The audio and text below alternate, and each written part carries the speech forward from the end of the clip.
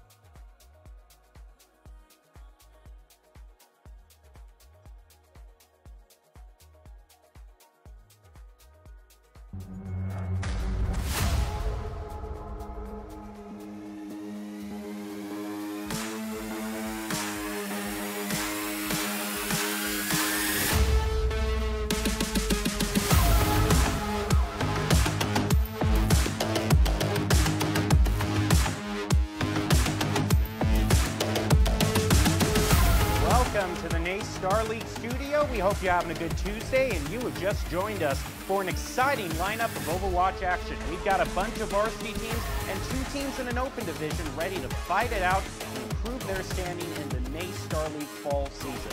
I'm your host, Jacob Jim Palmer. I am joined by Artie, Nerdy, Rain to call all of the action for you tonight. Artie, we're getting ready for our first game, which is the Ashland versus Kentucky. And looking at this, it seems that these teams are very similar. They have similar win-loss records, similar ranks. So when we're looking at two teams that seem so alike, what is it that really sets one team above the other for the win? It's truly it's two parts. It's understanding your win condition versus the other team's win condition, and I, the flexibility that the two teams come to the table with, especially after a first fight win or loss. If you're looking at your composition, you know you're playing into your direct counter, or if you are, if you lose the first fight and you're playing into your counter, you need to be able to, to identify that you're on the wrong composition, make the swaps, make the adjustments quickly. If you're looking to still win the first fight despite being on a suboptimal comp for what you're going into, always make sure that you are playing your own win condition, setting up the enemy team to be forced into those situations for yourself and your team, and play to your team's strengths. So ultimately, if we see a team that's, you know, trying to fit a round peg into a square hole continually, that's probably the team that's going to struggle the most. Yeah, I've seen a lot of teams get tunnel vision and be allured by that ever increasing ultimate charge number when it's just not working out for them. But hopefully these teams find what's working for them. And let's take a look at the schedule. I teased the first match that we had. It is Ashland University versus Kentucky. Then we'll move on to St. Clair from up north in Canada versus Ferris State. And our last two games of the evening are going to be between West Texas A&M, UT Dallas, and then we're going to have University of San Francisco taking on UNLV. And that last game is the Open Division match that we had. And last week we had a really fun Open Division uh, match. That was the only one that wasn't a sweep. It was back and forth. We had some great flashpoint play. So I'm looking forward to this week's Open Division match as well. But let's start with Ashland versus Kentucky and take a look at what both of these schools have to bring to the table in terms of their players. We've got Memes, B1H, Max Dub Speed, Ravala, and Vasuki for Ashland. For the side of Kentucky Esports, we're going to have Mad Jack, Butters, Despacito, Clario, and Andy running out that roster. So these two teams are ready to load right in. We are going to be starting out on control, and then we're going to be moving on to hybrid, then flashpoint. Uh, a lot of teams decided to kind of play it out of order last week, but it is supposed to be going control, uh, hybrid, and then flashpoint. So we're guaranteed to see the new mode, or should be of these matches. Yeah, so this is proven in a lot of situations leading up till now to be a double-edged sword for some teams, this new lineup of maps, because there are some teams that are absolutely excellent at Escort. However, if they struggle on the other maps and they plan to use Escort kind of as their opportunity to bring things back in their favor, because it used to be third map type, that's when you can start with a reverse sweep. But now it's flashpoint. So if you struggle on control points, odds are you're also going to struggle with flashpoint because it's control but on steroids. So hopefully teams are able to work around the differences in map types that they're going to be uh, running into tonight and have actually scrimmed both New Junk City and Suravasa and are ready to go on them tonight. You kind of have the opening of the well-known stages, you know, the control stages. A lot of them have been around since the beginning of the game. And then, of course, you have hybrid, which is usually King's Row, so talk about something that a lot of teams know in and out. But then we move on to Flashpoint. So it's kind of like a sudden right angle turn in terms of just how used to everything everyone is. Well, also the old order used to be, so you went from a control and then you went to hybrid, which has a control point and then an escort point. And then you would move over to escort. So you kind of braced yourself transitioning from, the, from control all the way to just pushing a payload for the third map type. But now you're yo-yoing. You're going to go from control to a control escort and then into a control. So the ability to adapt, identify win conditions, and change your playstyle for all three of those maps is going to be really important. Well, we're going to be ready to jump into the game very soon. Once again, this is Ashland versus Kentucky and the first game of our varsity lineup for the Tuesday Overwatch schedule. And we'll be moving on with two more varsity matches and finally that open game I was talking about. So as we're ready to jump into the first control stage, we saw a lot of Lijiang last week. Uh, that seems to be kind of a definite opening, but I got to tell you, if there's one stage that I root for, it's Nepal only for Sanctum because I'm just I'm such a sucker for environmentals. I it's completely valid. I get it. I mean, if you look at it, I've my history, a lot of these teams' histories were Lucio players on main support for all of Overwatch 2. You love Nepal, but at the same token, it's like, if I don't get this environmental, how much grief is my team going to give that me? That is true. So with that being said, yes, I love Nepal, but I also hate to be on the receiving end of being in an mm. environmental death. So, you know, I would like to see a deviation away from Lijiang, maybe give some love over to, love over to Busan. However, Ilios is also in that mix, so there's another opportunity for environmentals if you want to make sure that box is ticked. Yeah, it is ticked. It's just not as severe as it is on Sanctum because Oh my goodness, you could really make a you could re really make kind of an April Fool's map out of that if you really wanted to go all out on bottomless pits. But we won't get into that right now. We are just going to wait for these teams to load in, and then we'll find out what the first stage in and is and move on from there. And as we're talking just about control stages, uh, we kind of alluded to it a little bit earlier. Some of them are, you know, I, it's like I don't care too much for the other maps on Nepal just in terms of entertainment value. For pure entertainment value, okay? You know, I like well for pure entertainment value, but that's Ilios. I mean, Sanctum, I get the pure entertainment as well, but we're going to go to Li Lijiang, and if you're looking for the entertainment of Lucio players, well, then definitely. Gardens. Yes, Gardens 100% has a history of being Boop City because people don't. Uh, you know, understand there's a Lucio who's hiding on the wall, there's a Pharah, there's sometimes an Orisa spear, there's a Hog with a hook, all of which can lead to your doom off the edge of the bridge. Also through the window if you decide to TP into the window, which is why you'll always hear me cry to TP on the platform to the left of the window or to the right of the window, depending which side of you are attacking gardens from. Night Market, notorious for always having the Sim TP and Brawl on point. However, there is some wiggle room with regarding compositions, especially if you lose that first fight. Make sure you're able to swap off and understand the win condition of your team when you're preparing for your second engage on that map. What's interesting is uh, last week we actually saw two teams go uh, for the Symmetra teleport play to open up on, on Lijiang, but those were not the teams that held the point in the end. Where it used to be you just always kind of see a dueling Symmetra teleport race. I teams sometimes do struggle to understand what they need to do with their Symmetra composition when they're going into a team that is not Brawl. Because there are some teams who are just, you know, Brawl is the plague. They're not going to touch it. They know most teams are going to want to go Brawl. That's fine. They're going to play around it. Therefore, if your team is going to say, we are going to take this point, we're going to sim TP there, and we're going to rely on getting our Symmetra beam charge up, but the other team is not coming towards you, you're going to have a problem. You need to adapt. You need to get more mobile. Use your Symmetra teleporters. Get off the point. Get someone out of rotation. Don't just sit there. That is the biggest problem. I don't care if you're a ball comp. Yes, you play as a ball, but you still have movement. You just have to use it properly. No, and, and if you got a skilled wrecking ball player, I mean, they are flying all over the place. It's hard to keep track of them. Probably one of the most mobile tanks that there is.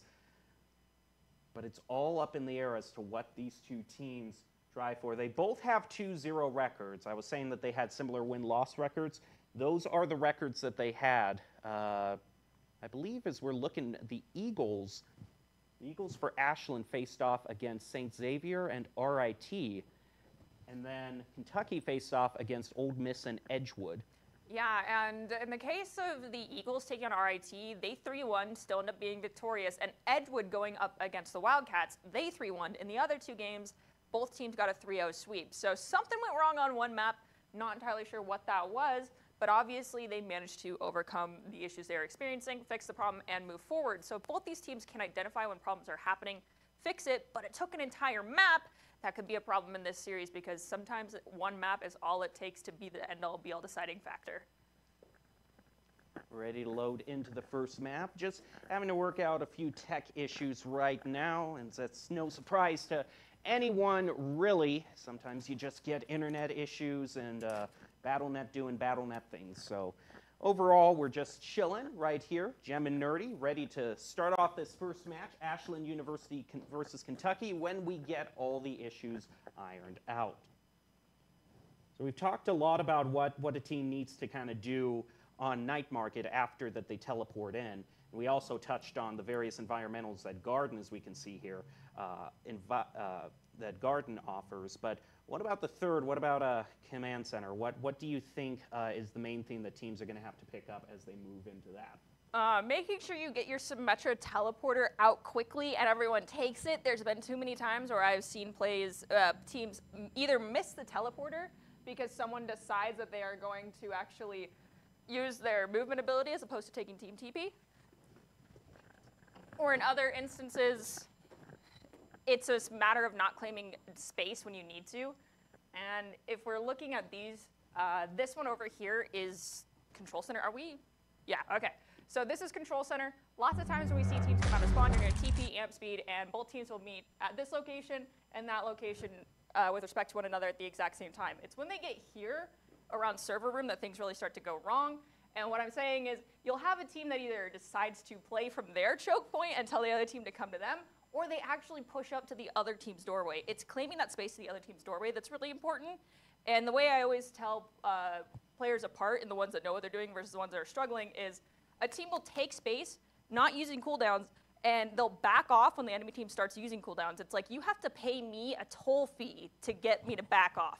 If you're willing to give up a cooldown, I will give a space. But in your giving up space, you still hang on to your cooldown, and then you're able to walk back up with your own and take it back. But it's the teams that either A, overstay their welcome in that location because teams are using cooldowns and their backline's getting deleted if you're a tank, or B, the ones that just play back and let the other team come forward without paying anything whatsoever that really start to run into problems. Also, last week we saw an amazing play by uh, a Doomfist tank. Uh, someone tried to set up their Symmetra teleport right there. The Doomfist just turned around from the second floor above server room and just punched all the way across point and knocked them off for an environmental. Well, the fun part is that uh, Control Center is the notorious 1v1 map that a lot of players like to use to warm up and one of the few tanks you'll end up playing is Doomfist. And so you better know your Doomfist parkour. And whatever players typically are on it that I know, I always hear, I'm going to get that parkour, get that parkour. Because you can tech off the middle portion of the map inside the control point itself.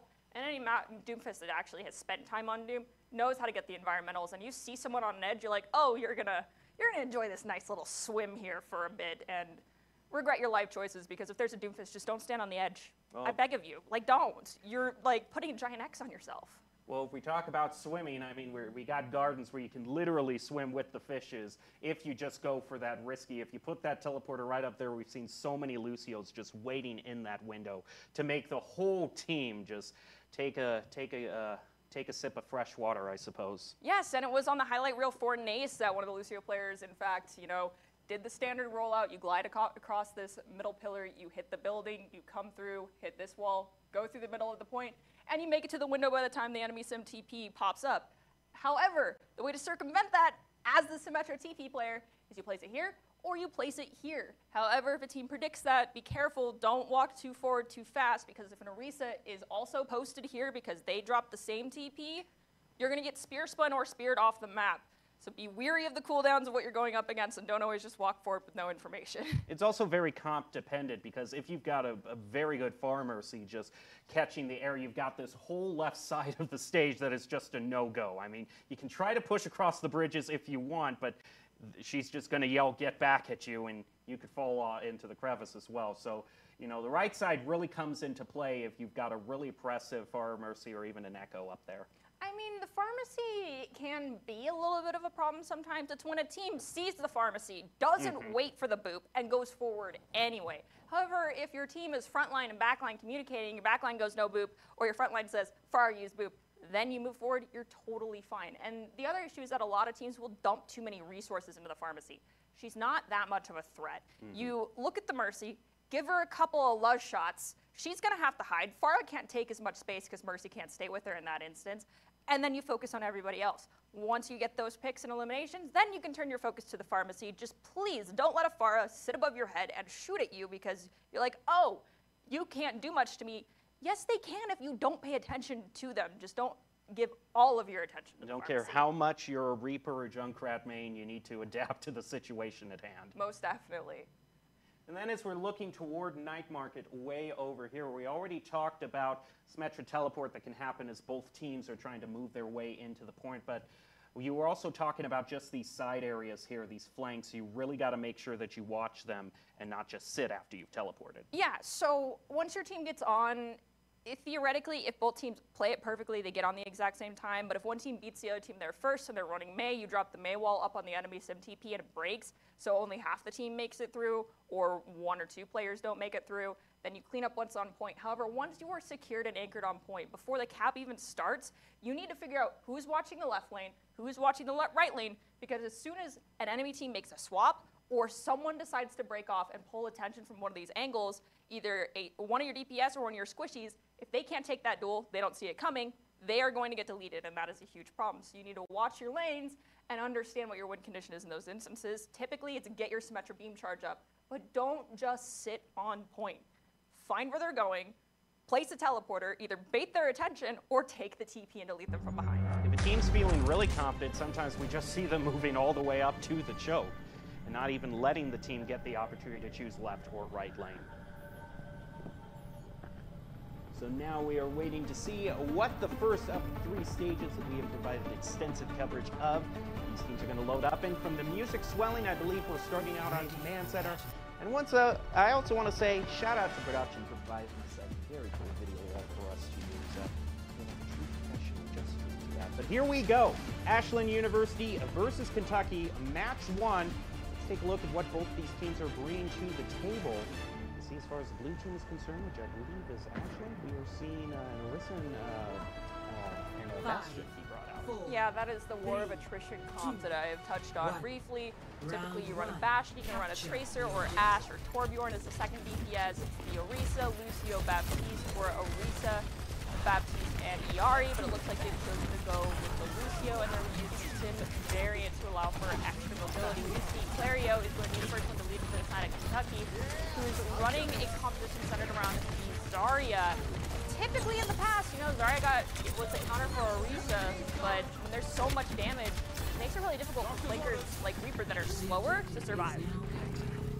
Ashland University off of that one pick. Mad Jack also taking a whole bunch of damage. Does manage to find his way out of there, but we are seeing a bunch of burst potential from Ashland as they also got Clario on the rope. He's going to heal up. Fact, he moves as a team to contest the point. Immortality Field is going to be dropped. It is shut down pretty fast. Javelin's going to go out. Clario once again low on health, but Andy eliminates Vasuki off the edge. We also see Max go. That should be a team fight win for Kentucky to make this game. Yeah, I'm gonna Max. Don't don't sit up there. I know I said if there's a Doomfist, don't go over there, but the same thing applies if there's a Lucio. Any Lucio with their salt that's full health a Bastion, who has no turret form, is gonna run after you and boot you off the map. The only exception is really tanks, because tanks have a passive ability that makes it harder for Lucio to boot them. Push them nearly as far. Ooh. Okay, I guess the uh, strategy for Orisa is press W to burn bubbles, because that Zarya's high charge, he gets dropped the counter. Butters is going to take out the Immortality, but Reaper comes in, takes out a Torture as well as Immortality, both for Ashland University going down. Good news that Ashland can walk away from this, even if they don't take the point this time. They at least traded two ultimates three. Kentucky has used everything. Now they're contesting the point. Despacito gets the pick under Rev. Ashland University perfect for one, and their Torbjorn is trying to eliminate. He gets taken out, as well as B1. He's going to be a send back toward Ashland. Behold my Oh, in this next fight, we have Baptiste close to that ultimate. Zarya did just use grabs about 50% there. But what I really want to look at is for Ashland, they have this amplification matrix plus the Torbjorn ultimates. Right by the time they cross this archway, well, this front doorway, and get down this hall, they should have them. This amp matrix, if they round this corner and put it in the correct spot, swing wide with it, just like that, they can lock down in the entire point and make it extremely difficult for the enemies to stay alive.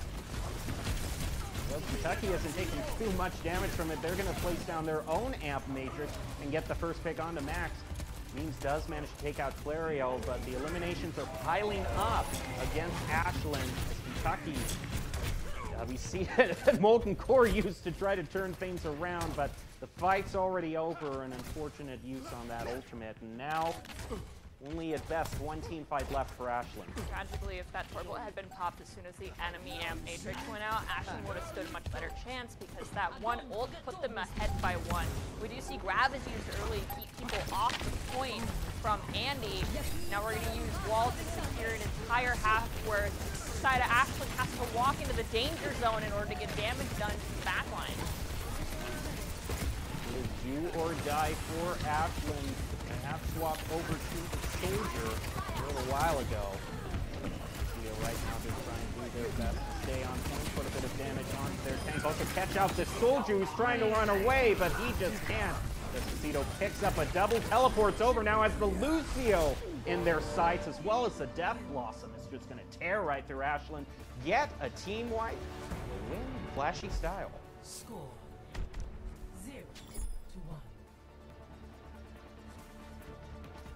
we could take a quick look here at this Symmetra play. First finds the Soldier 76. Not positive Soldier. Yeah, Soldier did use their healing pad, unfortunately. So Symmetra read this one like a book, said, ah, no, you can't survive this. Gets us the full beam on Soldier, teleports, takes care of the Lucio, and helps out with the Zarya.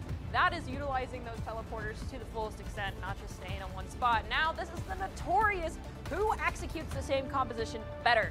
It is all about timing And truthfully, I think the difference maker here is which team has everybody pressed up against the door and hitting W out the gate versus the team that does not. Overlay will go up. We see the race, and both of them seem pretty even in making it towards the point, although Ashland has decided to set their Bastion up in the window. The Mortality Field is going to bail out Kentucky, but a lot of Ashland is very low. Calclario finding themselves pressured, but is still managing to hang in there as both teams burn through their lanterns. First pick is going to be courtesy of Max taking Clario. Zarya shortly thereafter falls on the side of Ashland and Memes, so that should be a turnaround in favor of Kentucky despite losing Clario early on. They will get the full team wipe and point in their favor. Clario, it's one thing to be in the back pocket of your Zarya, it's another thing to be in front of your Zarya. Just be careful, it's very important that you survive because Zarya needs your extra damage. We do see the JQ swap on the side of Ashland University. And Memes dies instantly to Andy. Now it's the go button for everyone here on the side of Kentucky to claim extra space and force back the enemy team for a little bit longer.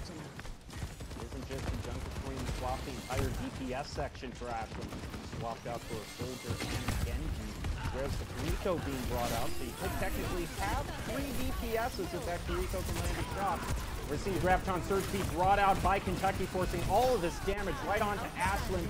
B1 and Memes fall as a result. The rest are soon after.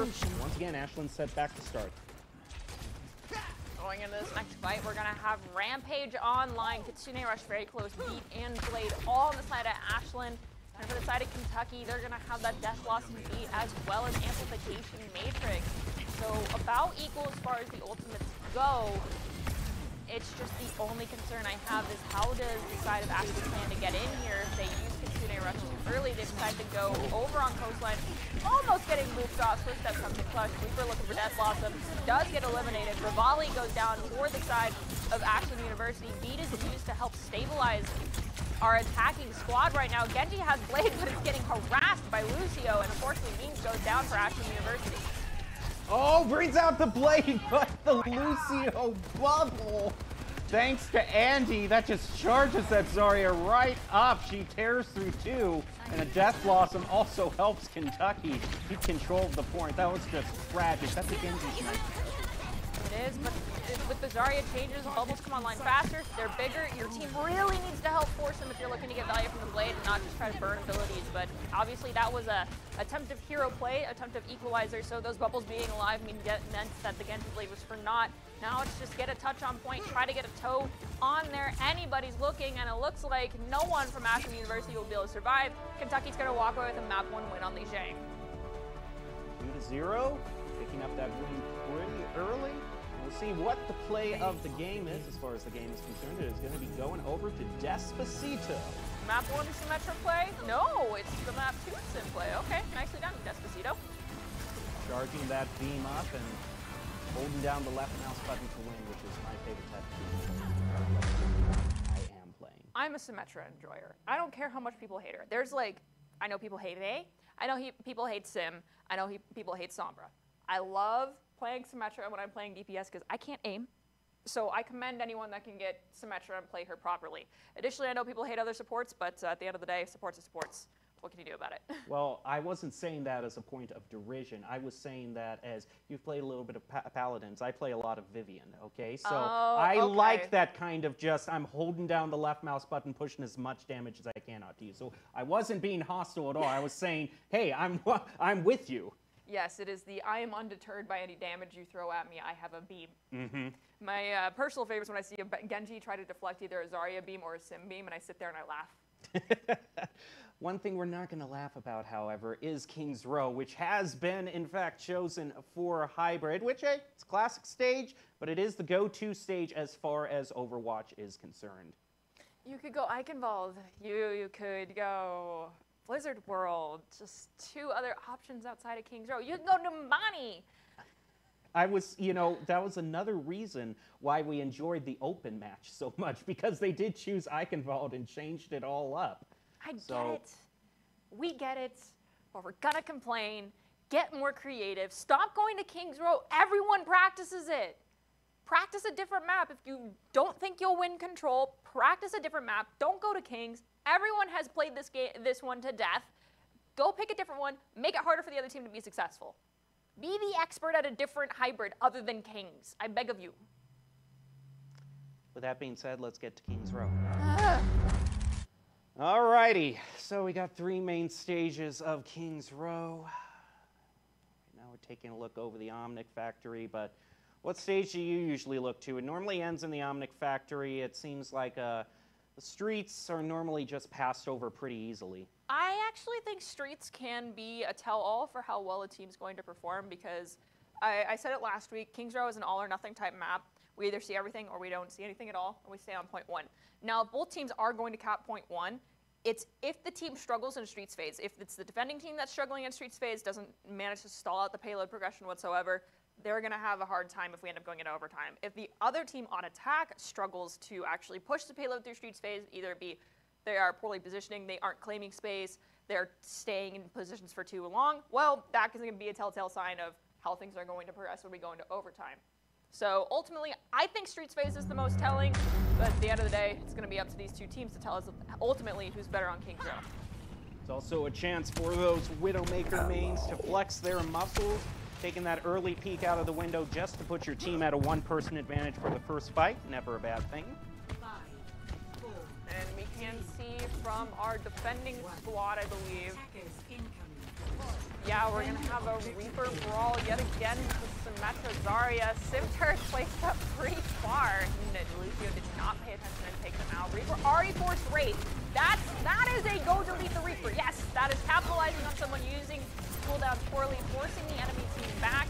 Means Kentucky has to rotate into hotel, play a little safe, but this is again, you're staying on the point. You're not pushing forward, forcing cooldowns. You're letting them come back and they please. We do see both Zaryas get one kill apiece. Question is, which support goes down next? It's Lucio for the side of Kentucky. And losing a Lucio in a brawl comp makes things rough. University captures the point on their first push. Gonna have plenty of time to push that hay- payload now, and opportunity, like you were saying, nerdy. And just the eliminations keep on coming for Ashland, putting a stagger onto Kentucky. Not bad at all. Like you were saying, nerdy, we're gonna see how much trouble uh, Ashland has as they push through streets, and judging by that first fight, it might not be too much. This is a little concerning though because who's typically the payload pusher, the one player that always gets to take selfies when they're playing Overwatch? It's typically your Lucio. Reason is because, you know, Lucio has speed, and get back to the fight as needed, but not having your Bastion with you in this fight lowers your damage output. Your highest amount of damage is gone. So instead of claiming this corner and keeping the team back, they're forcing a fight at this corner. And that's both B and window expunged from Kentucky just to guarantee that they have this area. And they use B too soon because Grab is still online for Ashland University. Kentucky just tears right through Ashland with a triple. To pick up just one more. Turret has someone, which I'm sure Torg actually does.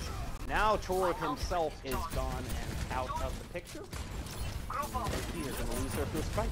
This archway is the bane of many players' existence. This is why claiming the space in front of library, putting enemy back is very important. Because if you are pushed back to this archway, it is hard to get past it. But once again, we have people giving up a lot of space. So Archway was clean without spending anything. There is an amp matrix in the corner. This one street lit way, very short. They just back off, wait a few moments, no ground is but lost. We do see Kentucky has come forward. They get caught in a grab, and the Torb ultimate Volt 4 comes through. That is a team win for Ashland University. This is why you don't aggressive Lucio. Kentucky isn't going to have.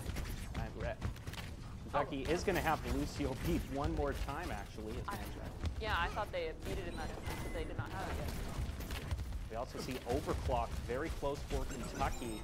They're going to get one more engage with the barrage coming in. Oh. They move out of the way, although that Torb does take a bit of damage, taking out the immortality field of Kentucky right now. Beat also expunged from Ashland. They move on to point. Bap is able to pick up Clario. Butters also low on health, eliminated Despacito's trying to bring this back with the overclock, but it is no, it doesn't do the job when half your team is down. Ashland University is nailing through. I mean, I. Phase is done. We're at the Omnic factory. And that's why I said people, the team's going to struggle, if at all, on a map. It's going to be during Streets phase. Now, we don't see a whole lot of swaps from the side of Kentucky as far as defense goes. I mean, yes, Sojourn and Bap can get the high ground. Illari, if you do it right, can get on high ground as well. But the uh, Bastion and have no choice but to fight, fight down main and take angles. We'll have to see how much of a difficulty the other people being on high ground proves for Ashland. So far, no one's gone down. and do see that the Bastion checks their way up onto the high right. Molten Core expunged for Ashland.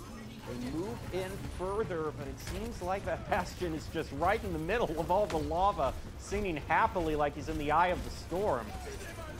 He is taken out, however, by Max Vasuki, takes out Butters and Kentucky. Enough of them are gone. Despacito's the only one left. He falls. This is going to be the end of Ashland's push. Pretty healthy overtime amount. Over 3 minutes and 30 seconds. Nicely done from Ashland. And I gotta give my shout out to Bastion for knowing where to position. Post taking different checkpoints. I mean, the number one DPS player in the world in uh, North America right now is a Bastion one trick. So, hats off to anyone that is able to do it themselves. Initiating match. This was oh I just we just saw a flashback. Eh, you know, if we didn't see it right there, we're gonna see it in play of the game. we know what the play of the Oh, game yeah. has to be. That's horrible, beyond a shadow of a doubt. If it's not, I'm gonna be shook. However, if something absolutely incredible happens here, I will happily tip my hat to that person and say, okay, that could be it, but it, it has to be incredible. No, someone's gonna pick Hanzo, get one pick in the air, and the game's gonna say that's a sharpshooter. Play of the game. Not just that, you're gonna Ajax the Lucio in that moment. so you get ult cancel plus sharpshooter, instant play of the game. Goodbye Torbjorn ultimate, even though you got a 5k. Looks like running the double turret strategy again with the Torbjorn Bastion. I love it. Hopefully they're not punished too heavily for all being on low ground to start. I do believe we're already seeing the Ashland University choosing that widow, so could be easy pickings as soon as those doors open. do see this competition run where everyone stacks up, plays it more as a brawl comp, but this competition does offer versatility. You can take advantage of the high ground from the beginning as a defense. And starting on low, you can't adjust to the high ground without it being in fights, whereas the starting from high, transitioning to low, mid-fight, means you don't have to either spend a lot of time out of fight to do the rotation or a cooldown to do that rotation. So let's Ashland does not get punished for all the shooting to be followed up around Mondatta's statue, as Vasuki is the first one to go down for this at Ashland University. Oh, that Reaper had that Lucio in his sights, but Zarya was just gonna say no to that one. Zarya is charged up. B1 is putting so much damage. Basically seeing a lightsaber duel right now play out between these two Zaryas. Stop popping the Zarya's bubbles when their supports are still alive, please! Both these Zaryas are just high charged! Please, look at someone else! I guess this is the biggest person in the room! But look at Lucio, look at the map! Stop just charging her off cooldown! Lucy Clario goes down though for Kentucky. That Reaper who comes in and freights out real fast is getting punished quite frequently. Well, after the battle of the dueling Zaryas, I put my sunglasses on and been able to see through all the particle effects. So I should be good, but with that window setup, that Bastion, that is just a no-go zone for the next two seconds. Kentucky waits it out, places down their own window, and moves on toward the point. Ashland is sitting on a beach should they need it. With Mad Jack going, they are off to a good start. They decide to use the beat. Also, Molten Core has come online for Ashland.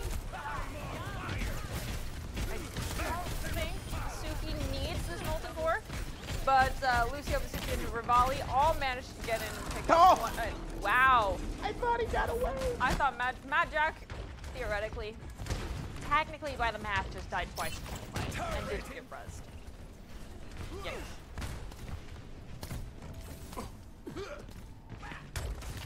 Kentucky moves around to the old college try yet again, but they have to deal with a molten core. Try again, and it, the try did not work out. They lose two, lose three. I think Despacito might make it out alive, but Andy does not. Well, I mean, we thought the Lucio would make it out alive. Our predictions just fell flat yet again.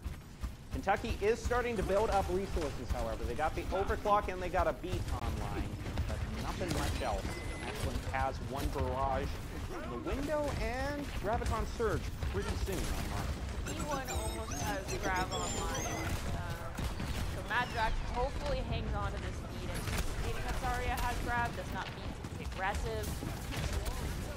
We'll have to wait and see. It looks like Means and Andy are pretty equal, so Means likely again. He's gonna just be waiting it out for that Zarya grab hunter, like Means has been doing the majority of this game so far. This ends now. Graviton Surge be brought out as well as Overclock and Beat to stick it out through that Graviton Surge. Less than a minute on the clock, Kentucky has picked up their second pick, but the Zarya popped her bubble and is charged up even more right now. Takes out Clario. Ash University also being kept alive by that Immortality Field. The Zaryas are fighting again! My eyes Where's- can only take so much! Where's the Duel of the Fates? Like, I need that as a button right now with the current Zar with the current Zarya meta, because it is like a Sith Lord and a Jedi Master facing it off when those beams are at full charge. Kentucky was only able to get their second tech with only 15 seconds left. I don't know if they even have enough time. They're gonna have to Torb, turn just those it. Lucio up and just, Do book it. it. Make the carpet. Give them the red carpet. Yep, you can't come in unless you want to walk through the lava. Zarya does manage to make it on point, but everyone else is caught out by the paparazzi walking down the red carpet. That is it. Ashland University. All right, we're tied one aside.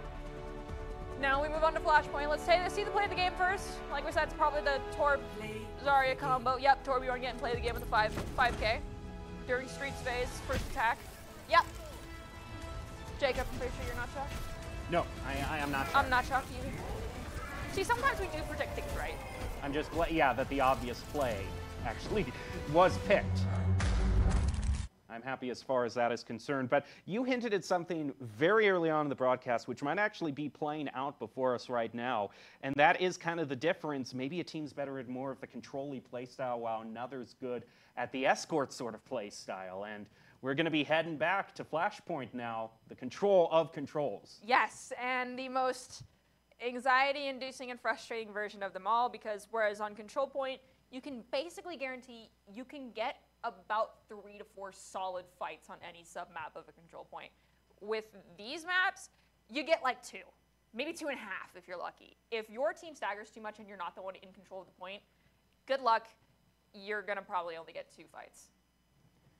And what stage of the two do you think we're going to be seeing? Probably New Junk City. I have just, based off experience so far, most teams seem to, seem to favor it. I don't blame them. Suravasa, one of the control points, one of the, sorry, apologies, flash points, um, will send a lot of players into the drink accidentally, is the only way I can put it. Like, the way it's built, there's um, walkways leading up to it, and there are like four different areas that people can fall off of or get booped off of, and it is a pain. Whereas New Junk City only has really one of those, and it's, you know, it's a coastline. It's really obvious. Whereas Suravasa, my first pug on it, I walked off and I was like, oh, there's a hole. That was not fun. And I am going to eat crows right now. We are going to Suravasa. Good news about Flashpoint is, though, is Lucio's has never felt more appreciated for how much you have to book it between points. It's not- It can be anywhere from like 108 to 140 meters to walk from spawn to flashpoint or flashpoint to flashpoint. You bet you need a Lucio or a Symmetra or a combination of Lucio, Symmetra, and a JQ to feel like you're actually making progress towards the objective. Course, every game of Flashpoint is different because you never know what the game is going to randomly choose for you for Well, the next. Yes. But I am starting to believe that actually Five, in the predetermined four, order, there's only like two three, variations of two, the order. That's one. just my own opinion. I have yet to. Well, it's random chance then on which of those two flashpoint. variations Yeah, you it's gotta, chosen. you it's a coin 50 flip. 50 between those two. But I'm pretty sure there's actually a designated like order of the maps based off of whichever map, uh, whichever flashpoint is set. I'm just convinced of that because of how mundane everything is being on the field, but that's because I played too much Overwatch. Unlocks in 10 First seconds. time that we've seen the Illari be brought out. This time by Kentucky, and it's not going to be out for long. Being Yikes. ace. Yeah. I love War of Attrition, but if you're playing uh, uh, JQ, Lucio, Kiriko, and Genji all against the Illari. Illari, you're not going to have a good time. Suki takes out the turret. Sticking is going to be on the torch this time. Kentucky is going to try to charge the first flash point. Despite losing their Illari, they did a great job. I mean, Baptiste does a grotesque amount of heals. Torb can also self-heal theoretically with the overload. Orisa's fortify gives extra shields. Soldier has a healing pad. So going down one support when you have all of those abilities in your back pocket is totally fine. It is, that, this is why it's, you know, war of attrition. There's so much sustain if this is a mirrored composition on both sides. Question is with B1H now moving back over to the Zarya. How high is that charge going to get? B1 already taking a good bit of damage. Despacito's turret is eliminated. B1H moves on to the point of contest. Becky is 80% towards capturing it. Despacito gets eliminated. As Clario, At this point, losing one DPS might be just a bit more impactful for Kentucky than losing four. Vasuki eliminates Mad Jack. Max also got eliminated, but managed to health back his way back up. B1H takes out Andy. With the tank on, that is for sure Ashland is now going to be moving in to contest this point. Kentucky waited way too long to figure out whether or not they needed to get out that fight and just die or, you know, actually fight for it. They had lost the objective, and now we're at 50%. So by the time everybody has made it back, we're verging on last fight territory. It's end all be all. Whichever team wins this fight is going to take this objective. We'll have to wait and see. We are getting close to some very powerful ultimates in the form of Graviton as well as Captive Sun online of Kentucky. They have the combo almost. We're 1% off of Mad Jack's Captive Sun. We don't get a Victorious combination come out. Grab is going to be used on Andy shortly after using that Terra Surge. Kentucky tries to capture back the point. They're successful in that endeavor by a wide margin. Now no time for Ashland to get back. That's going to be the first blast point done. Secure. Next, flashpoint, temple. Temple is announced as the next flashpoint. Kentucky already booking their way over towards it. With a whole lot in their pocket as well. Captive Sun, Visor, and four. A lot of damage they can put out. And we do here, the first one to go is going to be Mad Jack's Captive Sun. I don't think it landed on anybody, which is magic. It's gonna be beat from memes on Ashland to eat rest forward. Find Clario, who a little bit, the station's a little too far forward, just fixing the who got eliminated. We have a soldier visor popped on coastline. Got saved by the railing. I thought you were gonna go into the drink. But tragically, again, no one's looking, no one's in the position where that soldier was looking, so it's an almost 4 nothing ultimate.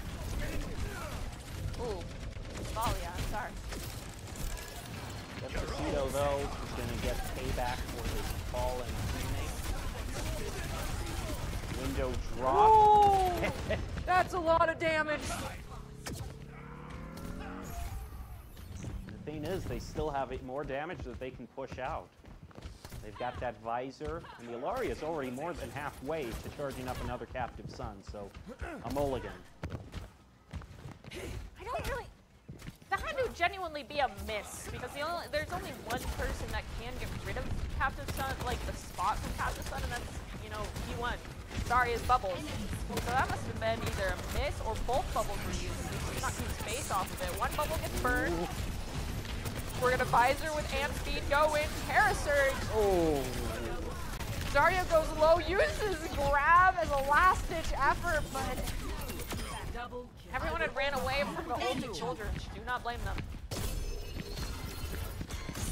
Oh, soldier! Oh! Soldier, I have so many questions. Why didn't you just? Oh, there had a very bad time too. They're crossing 80%, which means Ashland University. I don't know if they can make it back as a full team. We're down to 90, and Lucio's taken a lot of damage already from the turret. They're gonna barely make it over. Uh, does not make it Oh, no. So he got booped off. They didn't make it in time. No. Captive Sun is burned. Horrible Ultimate is also used that Molten Core. Captive Sun gets two. Despacito goes down to Rivalia. Now Kentucky's just rotating away as they have gotten staggers. And they're looking to go get the third point.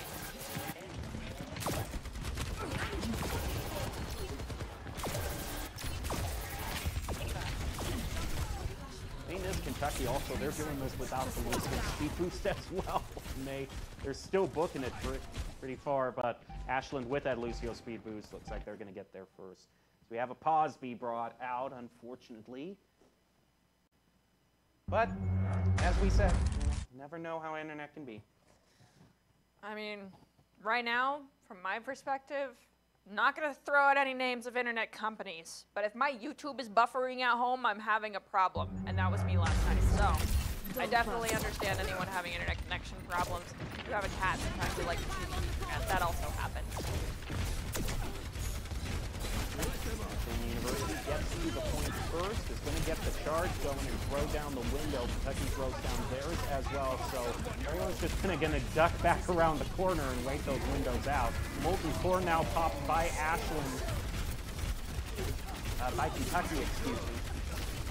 Ashland University is going to use the beat, not the Molten Core instead, and the Terra Surge as well. Take out well, Mad Jack's pylon, and that's all they're going to happy with. Meanwhile, the other Surge from Kentucky does manage to take out one of their supports. Vasuki is the next to fall. Kentucky looking good to take this flashpoint back.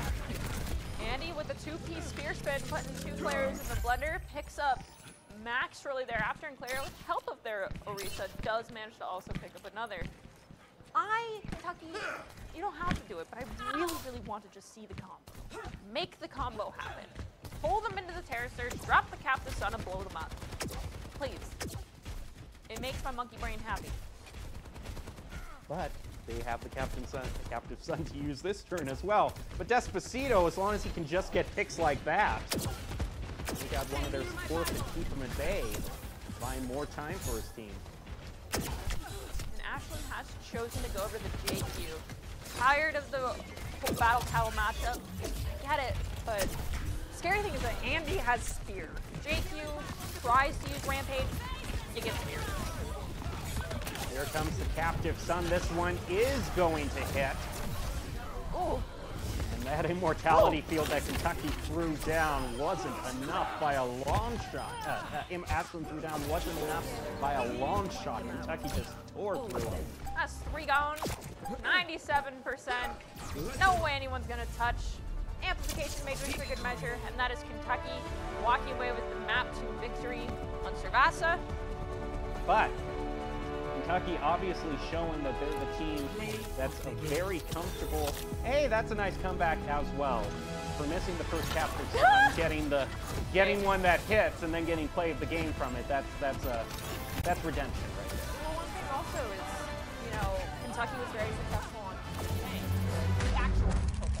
and then we moved to Flashpoint, and they are very successful there as well, demonstrating that Yep. you know their comfort is control points. But now we're we- we're back to escort and push for the last two modes, and so the thing is, Kentucky is going to have to move out of their comfort zone if they want to get the W. Push doesn't exist. I don't know what you're talking about. Okay, they have escort. They have escort left. Well, of course. Double Dorado, just back to back. Yeah, yeah. Let's go Dorado and Rialto. Push. Mm, mm, no. The worst part is when you got the team that. And I'm not saying this was really bad because this is typically how things go. Everyone hates two of the three types of push maps, so there's only one map that you practice, and you got to pray that the other team does not therefore ban it. Thankfully, NACE doesn't use a ban system just yet, and if you lose and you have to go on to push, you get to pick the one map that you enjoy. You just got to pray that the other team is picking the map you also like if you're not the one picking. We we kind of always route. It's kind of the opposite of escort. On escort, we root for the outside choice to be picked. On push, we're like, just please choose the one that It wants. so long. It is eight. Like if you choose Colosseo, we're spending five minutes looking at a corridor. And if there's Widowmakers, then everyone's just staring at the corridor. Like I'm not peeking, you peek, and it, it gets painful. It's much less fun than uh, watching the backroom series. It's a corridor series that just isn't isn't as fun to watch. I know some teams that are like the only push map they practice is Esperanza, which I completely understand. That's valid. Some only do New Queen Street, and some you know that they're crazy because they only do Colosseo. That's all I got to say. I, I respect it, but do I think you're a little crazy? Yes. I just think they're crazy because it's the only stage that's chosen that doesn't have a trolley on it. And as just a train nerd myself, Colosseo, you're not choosing the one that, at least aesthetically for me, I can stand Toronto or Esperanza, but Colosseo, on a pure superficial, very surface, no strategy Yes! involved whatsoever, doesn't do anything for me. It is going to be Esperanza. Esperanza! I'm fine with this. This is acceptable. Not saying I get any say in it, but this one's much more exciting to look at at least. Also, can we talk about the fact that we introduced push, and then Blizzard was like, here's three maps. We're gonna make a new map type.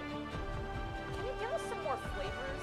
I'm, I'm tired of the Neapolitan variety of ice cream I'm getting with the push maps here, Blizzard. That's a good point. At least we can make it a 50-50 shot of a decent stage being instead of just Esperanza all by itself. That's true. Yay, there's the trolley. I'm happy now. Five. See, that, that you were talking a little bit earlier, the Illari combo makes your monkey brain happy. This is my monkey. Objective. I completely understand. All right, so we don't know which team is which, but of course, if you remember the names, you'll be able to identify them. We've got both teams running out on the JQ composition. The one variant, just Despacito, pulling out the Torbjorn, whereas we have Maxed Up pulling out the Sojourn. Both, both can be very, very powerful compositions, but it all depends on playing to your strengths and baiting the enemy into those areas where you will be able to succeed the most. Forcing out Sojourn's life very early, Clario on that Genji. While it wasn't fast enough, Sojourn goes unpunished. Get the robot back. The enemy's pushing. That's Ducky's not swinging good. around the other way, so does Ashland. Genji moving in. It's a good chunk of damage, but isn't able to land the pick. He gets taken out by Max Dubs. Turret has also gone for that Torb, and the oh, Torb follows shortly afterwards. Butters also bites the dust. And then Junker Queen, they all collapse around her. Ashton University gets the first push. When you play a character like Torbjorn, I feel like if you don't get those picks or get the kill immediately, when someone starts coming after you, you have two options. And the one is land your shots, and if you don't land those shots, they're really the only, you have to go plan B, which is your option, and that is for kill and run. And you're not the fastest when you're over, or when your um, overdrive goes off as Torbjorn. So, makes it a little rough. Two ultimates come online for Ashland. They're going to use both of them back to back. The beat and the rampage. And everyone from Kentucky falls. Now, the situation goes from bad to worse for Kentucky as the forward spawns are gotten for Ashland. Ashland wanted to secure this forward spawn position with the bot. We are now in transition phase. There's another term that's sometimes used for that I can't say on broadcast, but if you're aware of it, just look at the bot's animation during this whole sequence and you'll probably figure it out.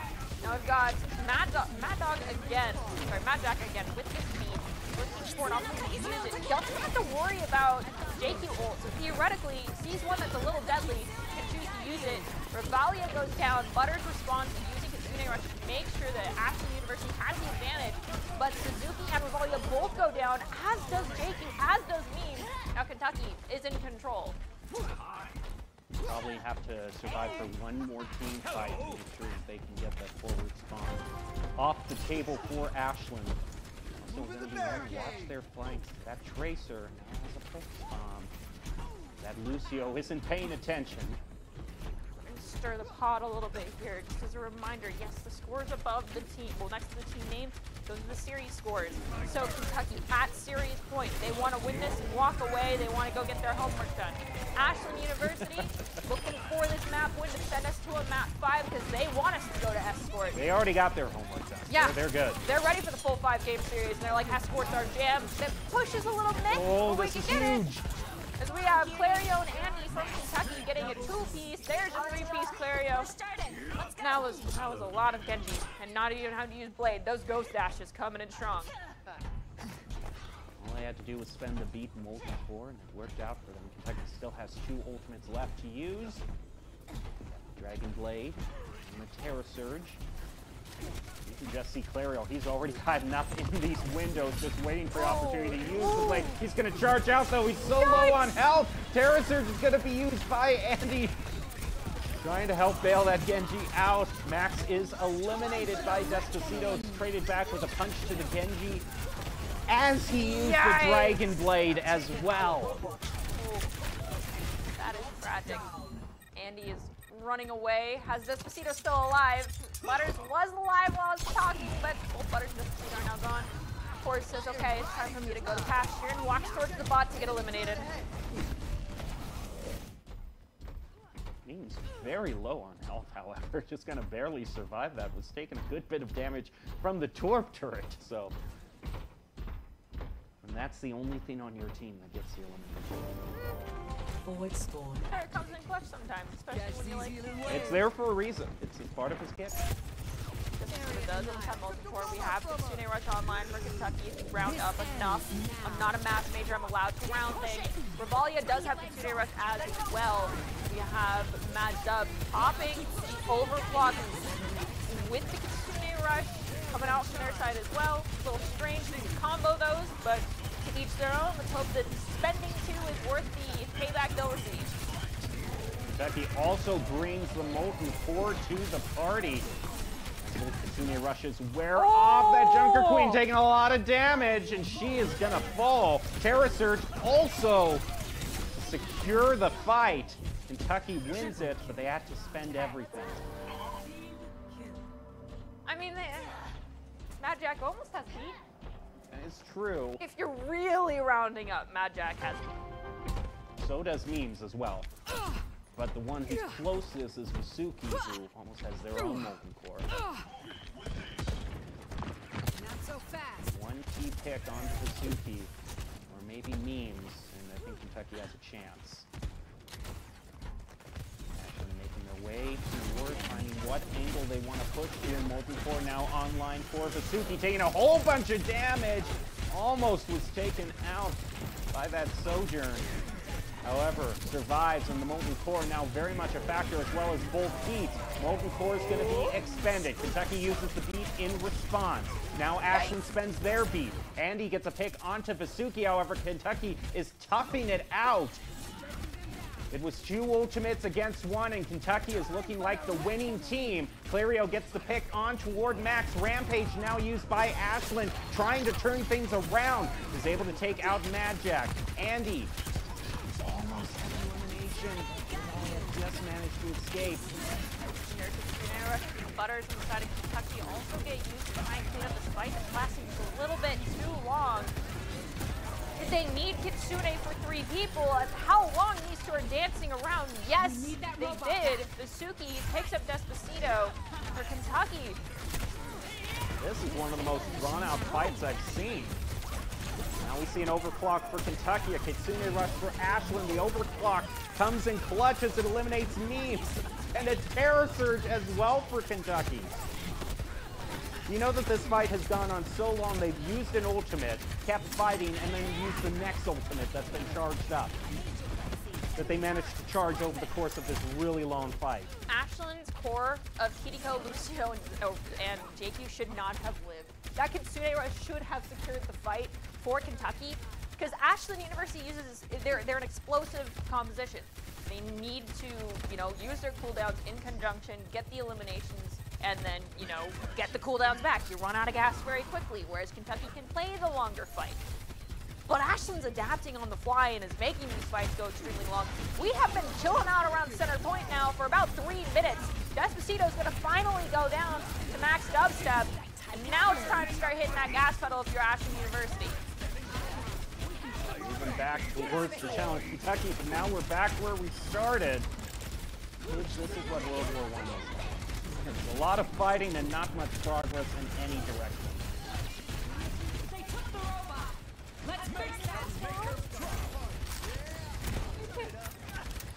Oh boy. All right, JQ, show, show me what you can do. Andy has a spear. That's really the thing you gotta look out for. Spear, Suzu. Are we gonna get a well executed rampage or are we going to get speared? We are down to the last 90 seconds. Ashland University is leading as far as bot percentage goes. Suzu is used in response to the Terra Surger to cut short. Beat is used. B1 can, if theoretically live, wait this out. Unfortunately, does pass away. Lone Core used in response to losing the tank. Gonna give some extra forward space, but Vasuki is This also going to pass away. is just Yeah, yeah. You want to know what the punches look like. Yeah, yeah. Especially since the Molten Core was used, it was literally just that right there. Kentucky managed to pick up a double, however, takes out that Lucio, and the fight finally comes to a close. Kentucky has a chance to just get past where Ashland was. They are going to get the forward spawn, which is very crucial. Ashland does have a rampage, however. Kentucky going to be able to answer that with a Molten Core and the Kitsune Rush almost online for them. caveat of getting to that checkpoint with so little time on the clock is that stall that the bot forces everybody through the transition phase getting the checkpoint and moving forward again. It allowed Ashland to claim the space back. We have the we have Rampage online again. We've got beat. The question is, are is this is Ashley going to play patiently enough, force the cooldowns to Andy and Butters to allow this Kitsune Rush to be will allow this rampage to be successful? Kitsune Rush is burned first. There's Spear There is Spear. B1 needs to be looking for his ultimate. There is that rampage. Picks up one, almost gets the Kiriko, but if Kiriko uses Swift Step, she is in hot water. B1H eliminates Magic. Despacito trades it back by eliminating Max. Lucio's trying to survive. Terra Surge brought out by Kentucky. Doesn't get anyone, but does a lot of damage. Memes falls. The robot is pushing forward ever so slightly. They just need four meters and it's overtime. Butters and Clario also get an elimination. The turret is taken oh. down. The Torb goes down. There's just the Junker Queen left. And Kentucky, have they won it in overtime? They most almost did. Yep, it yep, slowed out yep, for a little, go, and there we they do. Oh my goodness, what an ending. They needed to come through. They were a control focused team, but they win in push. Also, B1 to commend you for getting all the way through the Mischief, Mischief and Magic Battle Pass. That Arc Mage title means they hit every prestige and got all the way to the very end of the prestige options. That's a lot of dedication playing Overwatch. Well, what a great game. But before we get to the next game, we also want to give a shout out to our various sponsors that support NACE Star League and make these broadcasts possible. And our sponsors are Truth and while we're at it, we also want to mention one of NACE's newest supporters, Odyssey Elixir. But first, let's talk about Truth a little bit. Truth is one of the nation's largest nonprofit health organization, helping to make tobacco and nicotine addiction a thing of the past. If you want to find out more about the effects of vaping on mental health, go to breathofstressair.com. And I mentioned Mushroom Elixir is one of NACE Star League's newest supporters. So go and boost your game with Odyssey Mushroom Elixir. It's the journey. It was quite a journey that last game. That was a very fun match to watch. Congratulations to Kentucky for picking up the win. Do you have any final thoughts on that match to close it out? I mean, I feel like a broken record when you ask me this question, but you know, he who ults first wins the fight, and that Kiriko was very, um, very trigger happy with that Q button. That's all I gotta say. And I'll leave it just at that. That is our first match in the books. We'll take a break and then be back with the next Overwatch match of the night. St. Clair is waiting in the wings to make a show of force. We'll see if they can do it after this break.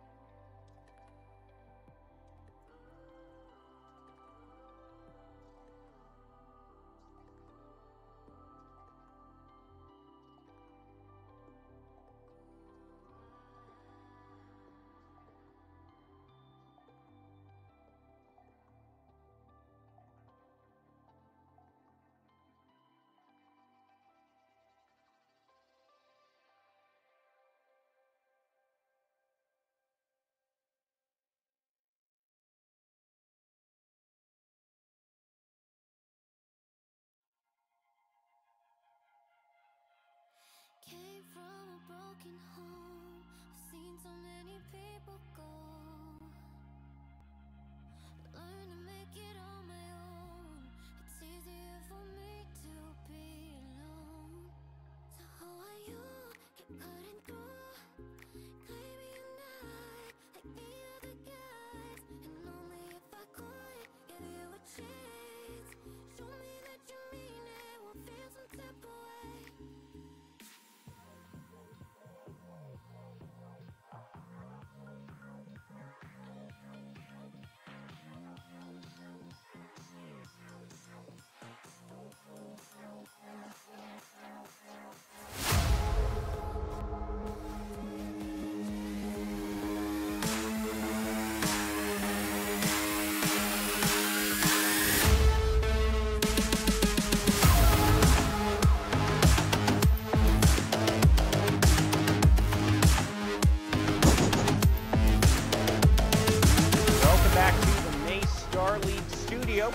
The middle of our break between our first and second Overwatch matches of the night.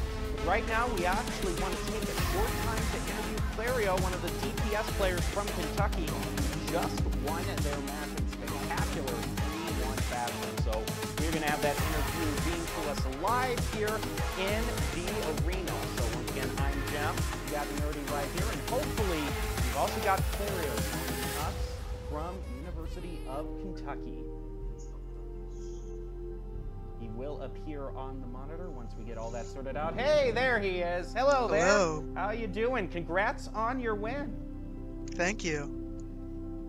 Well, we wanted to ask a few questions uh, about the match that just transpired. We, we kind of saw a pattern where Kentucky really kind of, it it really seemed you guys favored the control stages. I mean, you did a great job in the opening match, and then on Flashpoint, which is essentially Control Plus, you did a very good job. So, what kind of is it about Control that kind of makes you uh, more uh, skilled at it? To be honest, I think on King's Row we just kind of dropped our spaghetti a little bit. Like we were just kind of like, we got like discombobulated, started trolling. Um, you know, uh, I, I don't think it's necessarily something about the control maps. Um, but uh, yeah, I mean on the control points we do like to run the uh, like uh, stuff. So um, I think like those maps kind of like uh, adhere more to our uh, strengths a little bit. Okay, and so my second question is you kind of touched on it. With Kings Row, it seems to be the map that, you know, everybody chooses for escort. Were you guys anticipating having to go Kings Row for the escort map? And, you know, you struggled a little bit. What was the kind of mentality shift that you had going from the struggle that occurred on Kings Row going into Flashpoint? Was there anything that was said, or was it just kind of like concurrently everyone was like, okay, hey, let's get our act together. We need to figure this out. We're not losing on Flashpoint. No, I mean like as soon as the map's over, it's just it's just go next. Like we're just locked in. I mean you can't you gotta be locked in. Like like we, we gotta be locked in at every stage of the game. And if we're like thinking about uh what we uh, did wrong the last map or like spending too much time thinking about it, then uh, it's just gonna like be a waste of time. All right, well, we're sure you have a lot to get to, so we'll actually get you out on this last question. Will you consider coming back for like a special Star Wars themed match? Because I just have to point out how insane the Zarya fight was on King's Row at both of them at 100. I mean, did you take a second in your mind? I know you're focused on the game, but were you just looking at that going, wow, there's this is the biggest beam fight I've ever seen? I mean, I've played so much Overwatch at this point. I'm used to the like just light shows that go on in the game. I mean, it's just like there's 10 million abilities going on at any time. It's just like you, you can never tell what's happening. You just gotta like, like, like if you like try to like think about it, it's just over. All right. Well, thank you for joining us so much. Congrats on your win. Very entertaining to watch.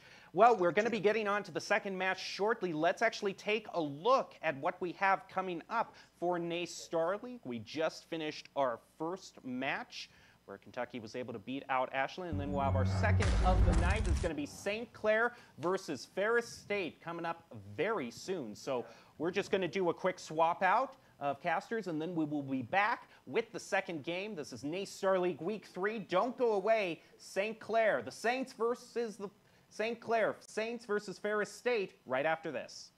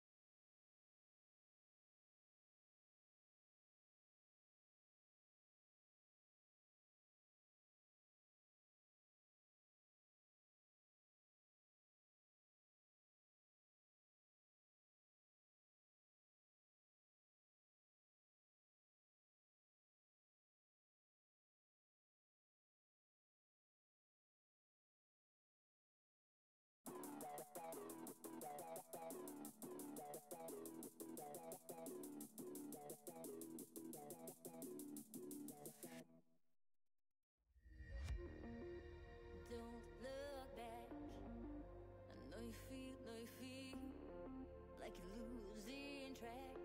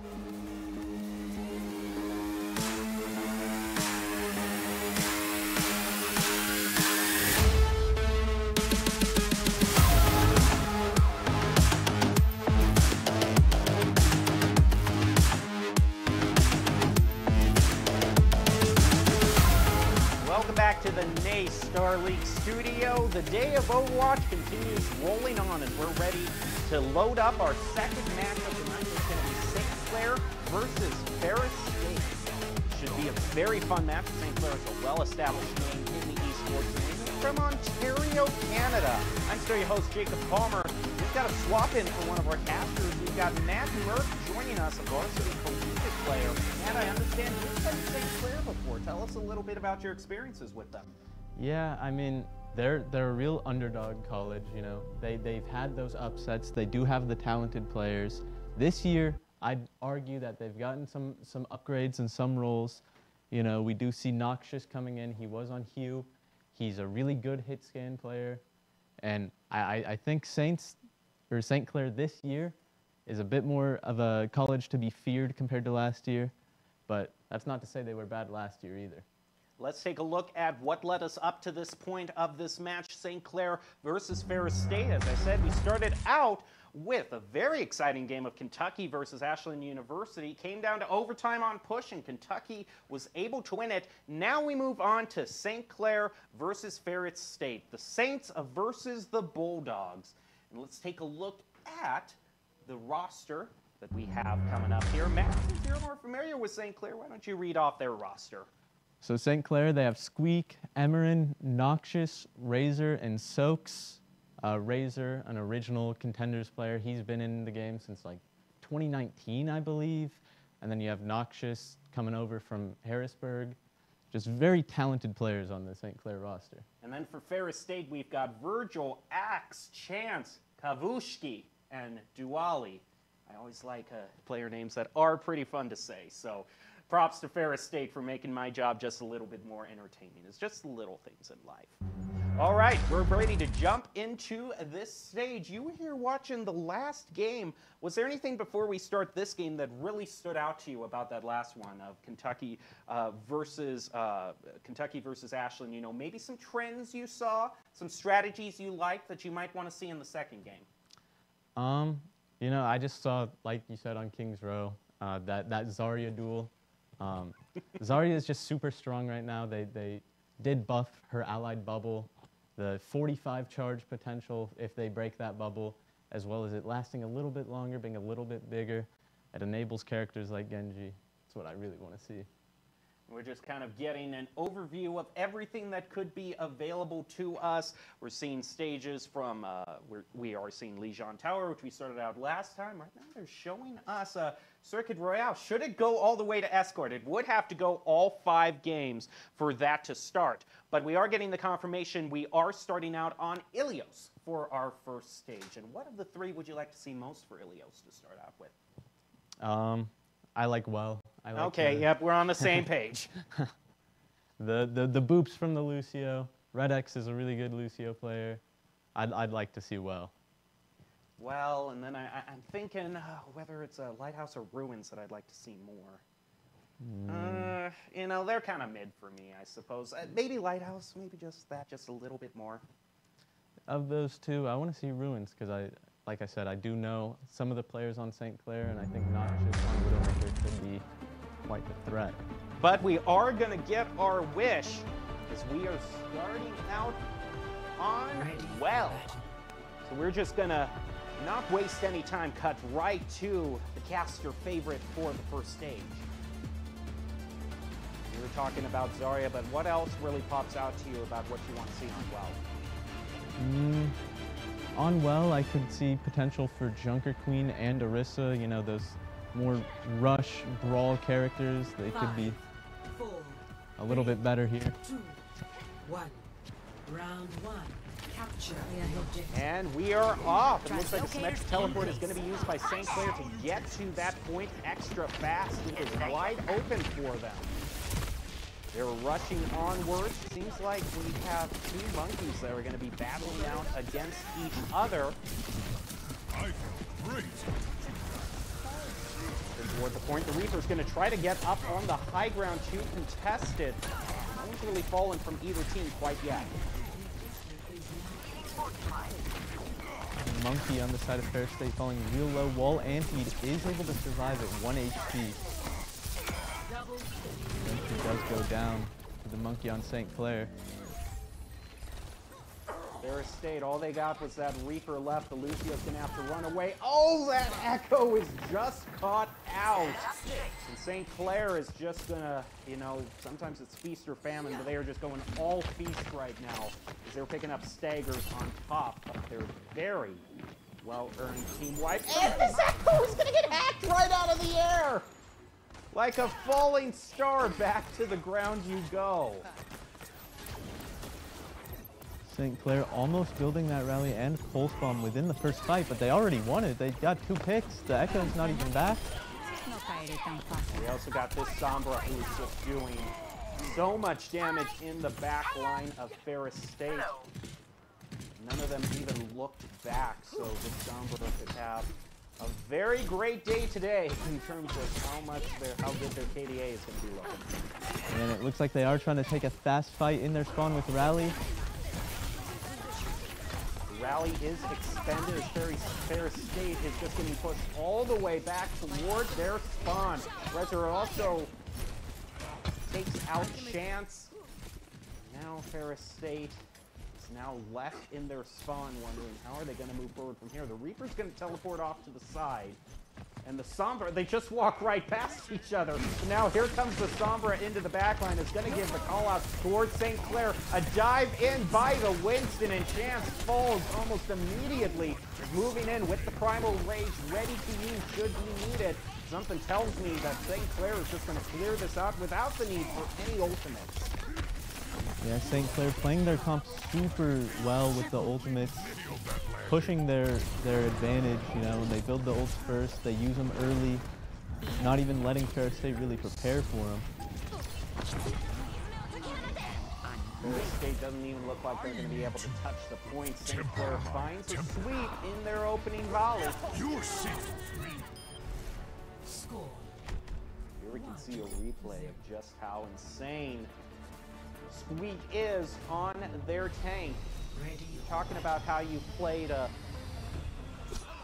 Matt, you were talking about how you played against St. Clair multiple times. I understand you're on pretty friendly terms with them. Uh, yeah, there's some some good players Everyone on the team. I am friends with some of them. Uh, it's really interesting seeing how they've improved. I think some of them even made it into contenders for the first time this last summer. Four, three, Very talented. guys. one. Definitely showing that. Bulldog's going to try to turn things around, though, on Lighthouse. They're using Lucio's speed boost to waste no time getting toward the point. St. Clair is deciding to take the high ground route. Instead, up Ferris State goes. The Genji climbs up. They're trying to focus down one of the support. St. Clair is trying to take it out. Soaps is taking a bit of damage through their armor, but St. Clair manages to survive through Ferris State's initial volley.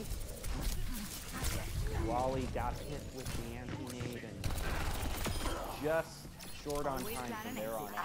St. Clair wins the fight, moves on to the point. It's going to continue moving where they left off. Yeah, St. Clair, as long as they can survive that engage from Ferris State, that's really all Ferris State's comp can do is just push forward. So as long as St. Clair with that Ana Brig are able to sustain each other, they should be able to just win the neutral. Oh no, the Kiriko almost got hacked. A trade back and forth in terms of the elimination. Soaps is the first St. Clair Saint to fall. Oh my goodness, Wally just went right into that, uh, right into Razor. Ferris State picking up some good eliminations here and there. Picked one up onto Noxious. Emeren's the next to fall. Now they just have to deal with this Winston. All Primal Raged up. A rally coming back in for the recontest from St. Clair. There's also a Death Blossom available, but there are a lot of shields on the point. Death Blossom is used. It does pick up Soaps. Ferris State is giving it their all to try to take back this point. They're going to force the Winston to jump away, and that's enough for Saint uh, for Ferris State to claim the point for themselves. The only question is, is Kavushki, as he moved far in too far, he is able to take out Amarin, races away to get back with his team. Yeah, St. Clair, they used four ults trying to recover from that fight, trying to turn it around, and they weren't able to. So now they only have EMP remaining. Just how much that EMP can do, but chances already eliminated from Ferris State. The EMP lands onto three. Kitsune Rush was used by Axe, but now not too many teammates left to take advantage of the boosts that gives. Ferris State falls, and St. Clair gets the point back. On the side of St. Clair, they are now they're building up those ults they used, trying to clutch up that fight. And so now it's going to be really hard for Ferris State with almost no ults to try and press through this defense. As they can just cycle the ults on the side of St. Clair.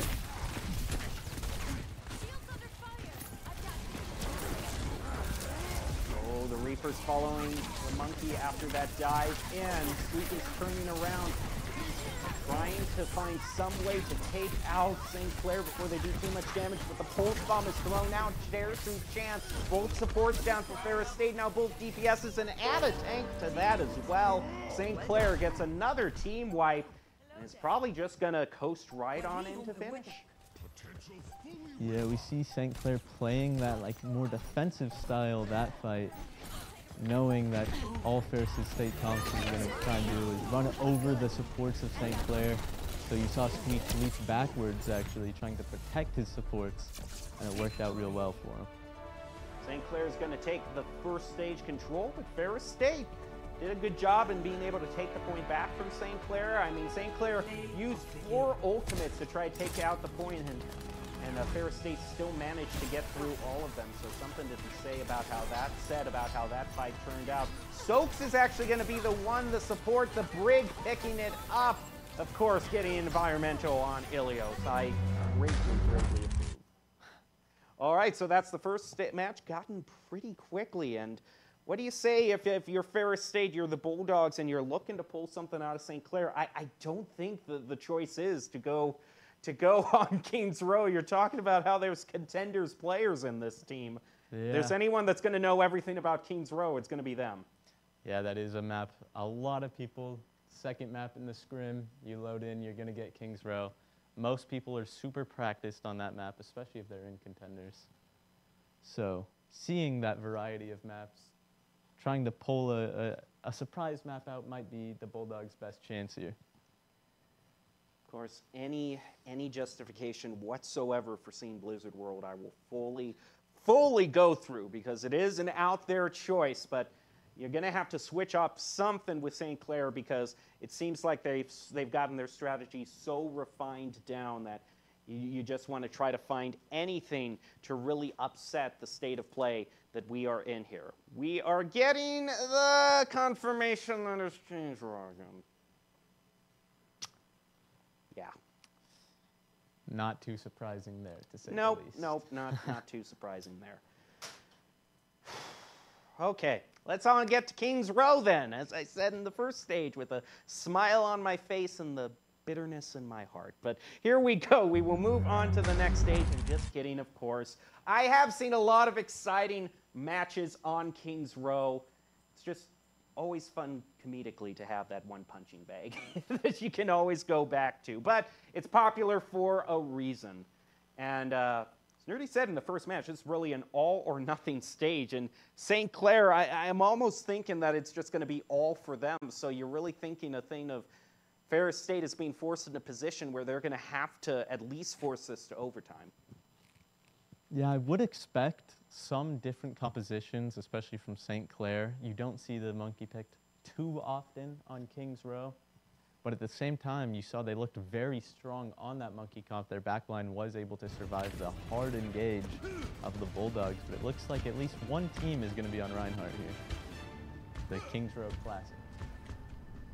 We haven't actually seen too much Ryan in the past few weeks, so it's nice to see him be brought back. Nice throwback to Overwatch 1 Kings Row. Yep.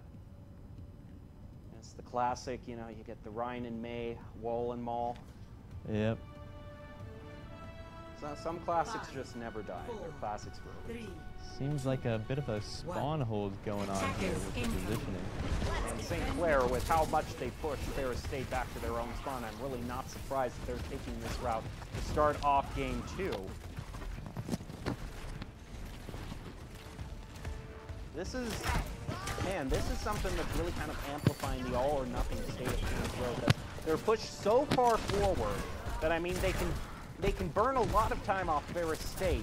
At the same time, if Ferris State just manages to explode and be able to take out St. Clair, then they're pushed past the choke point.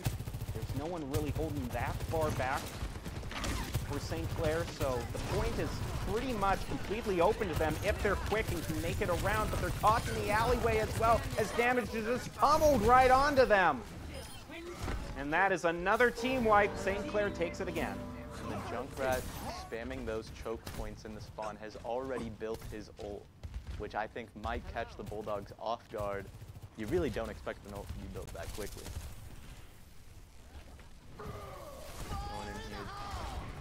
And he brings out, oh my goodness, you don't do... Okay, St. Clair, I mean, you're showing, you're just gonna Riptire right into the spawn. Okay, I see how it is. All right, the Rhine heads out. They're going to use the wall to try to split up St. Clair. In they go, but St. Clair once again a mine from the Junkrat gets a double. Ferris State once again left searching. Looks like the Reinhardt's going for a sneaky shatter here on the side of St. Clair. But with the Sim TP on the side of Ferris State, they might unknowingly teleport right past him. I don't even Oh. see. I don't even see the shatter, but I'll take the elimination feed. I'll I'll, take their word for it that it was a good shatter. Yeah. There's only Kavushki left. And if there's anyone I would want left, it's Kavushki. We are falling apart. Overclock now online for St. Clair as well as the amplification matrix because that's the one thing St. Clair wasn't lacking at. You know, let's let's put even more down. Ooh, I like this play from the Rhino. They're rotating off into the theater, getting themselves a bit of cover. They're going to go around the Rosie, but their team is kind of awkwardly split up. Emerin taken, uh, takes out Virgil, gets a double axe, is able to get rid of their Lucio, but now this Riptire is charged up yet again. For the love of all things decent in the universe, do not just put it into the spawn again. I want to see creativity. It looks like, okay, I, I see he what has he's going for. I see what he's going for. Will the Bulldogs spot Emerin above with 60 Riptire? I don't think they're gonna. They're all grouped. They try and get right past St. Clair, but they are not able to make it. Oh, we have a Rhine battle right on point, but the rest of the DPSs from St. Clair turn around. And that is another team wipe. Ferris State, if there's one chance they have, it's going to be all the ultimates that they have for this push. Yeah, they do have both the portals and an Earth Shatter. St. Clair only having that Lucio beat, maybe building Earth Shatter mid-fight. Everything is being used. Everyone's pushing Q. Kavushki manages to get a pick onto Emerin, but the elimination feed has shown a whole lot of blue. St. Clair holds Ferris State to not even one tick on the stage. St. Clair, up until this point, was undefeated in their season, and we can see why. Every time I'm, I'm so shocked. As I'm trying to talk about the ults, they use them so early, I don't even have a chance. Just constantly pushing that aggressive playstyle against Ferris State. Initiating match. I'm going to take a look here at. They tried to use the sim teleport, so this Junkrat tire actually had a ways to go before it made it toward the team. I mean, I liked Ferris State's thinking. I mean, they were changing it up. I mean, so many times, you know, as Nerdy was talking at the beginning of this broadcast, it was mainly about hero swaps, but it's also root swaps as well. You gotta sometimes change things up, and they were trying rotating through theater. They were trying using the sim teleport. I mean, Ferris State threw everything they could at it, and I have to commend them for that. Fortunately, St. Clair did get a full hold against them. So now the fire's burning underneath them. They have to play this defense so well if they want to draw than that because they didn't even get a tick. Well, time's ticking down. The Bulldogs better get to the point. They're only now leaving the station. Yes, the train was late as always, but now we are here ready to fight. St. Clair looking like they're not going to stop their high-speed frenzy. You were saying, you know, you don't often see Winston on Kings Row, but I think St. Clair's going to try to find a way to make it work. Three, two, Oh, one. Never oh, nope, they swapped their Attackers Okay. incoming. They were just baiting us. did the Rhine land a pin? Did I see that correctly? That was a great hack. He was about to charge and one thing is St. Clair is their their Sombra has just been on point, wrecking so much havoc with Ferris State's abilities. Anti-nade thrown onto Chance. He's backing up further on toward the point. Sombra's gonna hack one of the health packs and then get ready to do even more havoc in the back line. But sweet falls from Chance. A great flame strike to take out St. Clair's tank. Razor's the next to fall. Virgil is eliminated by Emerin, but now they know about the Sombra's plans. Weaver's gonna rape away. It is a hold for now by the Bulldogs. This is real- Ferris State is happy to win a couple fights here. They're building their ults slightly faster than St. Clair, but small weak No. ball. This is your this is your specialty, Matt. the wrecking ball. Yes, and we see the junk getting a little silly with the angles.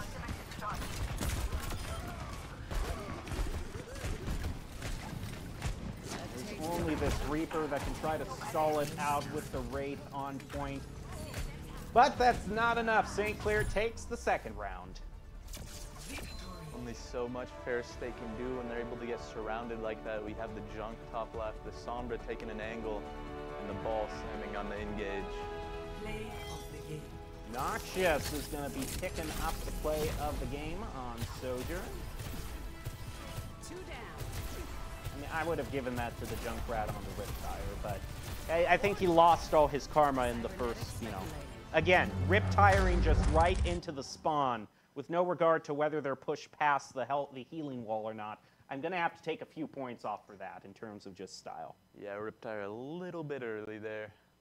Okay, so we're going into what could be the final stage. St. Clair looks like they are just barreling right towards a 3 0 sweep. But we still have Flashpoint to do and two choices on Flashpoint. So you got a 50 50 chance, Matt. What are you choosing? New Junk City. Every time we've said New Junk City, and every time so far on NACE Star League, we have seen a different, the different choice on Flashpoint. Nerdy, who's just off camera, is turning and giving quite a look to us. So I'm wondering if we're just going to see for the third time in a row another same stage and just whether this whole New Junk City thing even exists or if it's just a figment of my imagination at this point. You have to win at some point if you keep betting on red. you have to win at some point. That's a good that's a good philosophy to follow. Well, I guess not good. There's a Prob- reason why the casinos are so tall at Vegas. It's for people following that that and, Okay. Getting back to the point though, what are you seeing from St. Clair that you think is making them so strong in the way that they attack? Just like I've said, that, that aggression from them. They, uh, they barely even give the, the enemy a chance to think, let alone me, as I'm watching. it looks like. It's Suravasa. It's not New Junk City. We're not going to see that stage ever. No matter how many times our casters say that it's the preferred stage. Nope. Let's go to Suravasa. Hey, I don't mind it at all. I, we've seen a lot of exciting stuff on Suravasa. Very interesting map, a lot of angles, a lot of high grounds, a lot of potential for some uh, silliness, to say the least. So, St. Clair Just one victory away from claiming this, sweeping it, and moving on undefeated in their Snace Star League season. They're often a sight in NACE Star League Three, postseason events One. and considered a top competitive team.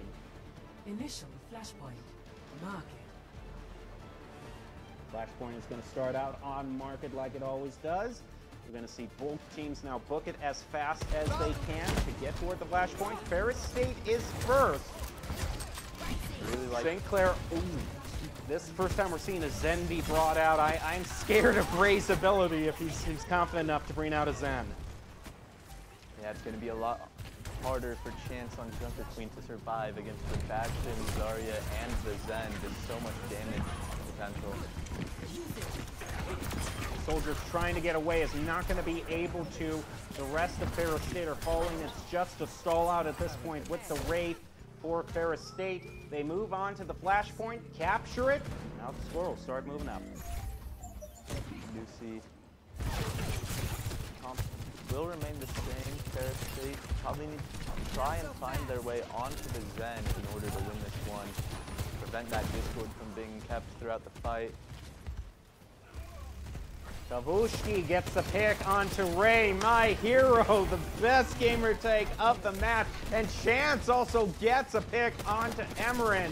This is the chance for Ferris State to take it back. They're moving on to the point. Still three Saints to deal with, but the soldier makes his way onto the point, starts the charge up. There's no one near for St. Clair. They're just going to reset at this point. Ferris State takes it back. But you know, like I said, they do need to get rid of that Discord, and that's exactly what Kabushki did. Kavushki again! The double! Ferris State and my hero! And he's got the Death Blossom ready to go. Okay, let's see it, Kabushki. Come on. Like they go early with the Kyriel. They can even just get the Suzu out here. It'll allow the reroll to get more value. Kavushki gets another one. Is waiting for the rest of the Saints. Moving in this side route now. He's going to have to time this right. That's both bubbles used by the Zarya. As they're making sure they're playing around those cooldowns, it is a green light for Kabushki to just do havoc. He brings out the Death Blossom, picks up the Kiriko. Squeak also falls, and Ferris State is on their way to taking the first flashpoint. Yeah, with 90% on the clock, it's unlikely St. Clair even has a chance to touch here. Nice job by Ferris State. They pick up market. Next. Flashpoint. They're going into this fight with more ults than St. Clair. If they can get that Suzu out once again, it'll enable Chance with that Junker Queen ult. Nothing to cleanse it. We're seeing a lot of swaps over by St. Clair as well. They've swapped off of that Zarya, moved on back to the Junker Queen. Noxious has gone over to the Hanzo. Their estate has a Rampage just about ready. Kitsune Rush is going to be expelled by Ray. The Visor is going to be used in return as well as the Rampage. Emeren's turret gets taken out, and that Moira just pokes her head out, gets a Visor right to the face. But St. Clair has picked up a double, so can Ferris State still defend this. They do manage to pick up the point, but the question is, for how long as the respawn starts to come in? Emeren is able to eliminate Virgil. St. Clair takes the flashpoint back. Yeah, we saw Chance go in with that Junker Queen ult, but Razor was holding on to that cleanse, and as soon as he came in, he helped his team stay up through it, just automatically countering that ult. St. Clair also has a good response to the one ult of Ferris State. Oh. oh! Wow. Or they just land a couple headshots. That works too. Might just be the scenario. Oh, off the edge you got! St. Clair, you're better than that. Oh no. It's also amazing that the water just doesn't make any sort of splash whatsoever. But again, small indie company, you know, you can't count on water physics at this point. It's uh, it's a different type of water. We're on to the next flashpoint. St. Clair has a whole bunch of ultimates. I think this Hanzo just might have been a because he is just picking up everybody. Throws out the dragons, but Kavushki once again, the savior of Ferris State. Virgil picks up Noxious, puts an end to his foe-armed reign of terror, and Ferris State is making their way back on toward this flashpoint. This Moira is surviving, but has to wraith, has to move away. Ferris State takes the flashpoint back for themselves. You saw Ferris State's coordination there. They popped that Kiriko ult, and almost immediately Squeak went down on Junker Queen. Just the focus fire from Ferris State was so good there. Squeak is deciding to go full flavor with the Wrecking Ball. The name fits the character. Moves in, slams down. Actually, doesn't slam down. Kavushki does have this rip, uh, this Death Blossom available. That's a lot of damage that the Wrecking Ball has taken. Squeak slams down, eliminated by Kavushki. Pickle Piglet also gets a pick onto Red X. They are both on fire, and Ferris State on their way to taking the second flashpoint. Do not disrespect them, St. Clair. The Bulldogs are here to fight, and they are just one flashpoint away from claiming this entire stage. Yeah, I don't. I have to say, I'm not a fan of the, the ball pick in Ferris State's comp. There's so much to force him out, so much that can live through it. There's only so much that ball can do. And so you see Squeak swap onto Rhine. Kind of a Junker Queen counter pick in a way. I feel this in my. Flashpoint unlocks in 10 seconds. There they are. Get ready. You see St. Clair with control of the point to start, but Ferris State with their ults just going to the high ground. St. is going to be the first to take this third flashpoint. Kavushki just waiting with the Death Blossom. Moves in thanks to the Kitsune Rush in. The Mei's going to hide for now. Oh, wow, the Death Blossom all around takes all of her teammates out of the picture. The Rhine is charging right to his death. Is going to end to make sure that there is no stagger being brought out onto St. Clair. But a victory is a victory for Ferris State. They've got the flashpoint back for themselves on what could be the winning one for them. The time ticks so quickly on this. Using ults to win a fight like that, even if they use three, isn't bad. Basically guarantees only one fight to actually try and take the point.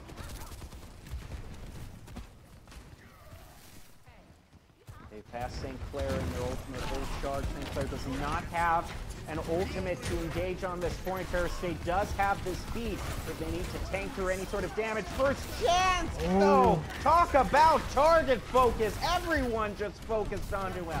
He falls for Ferris State. That beat comes through too late. Now St. Clair sitting on three ultimates, taking back the flashpoint.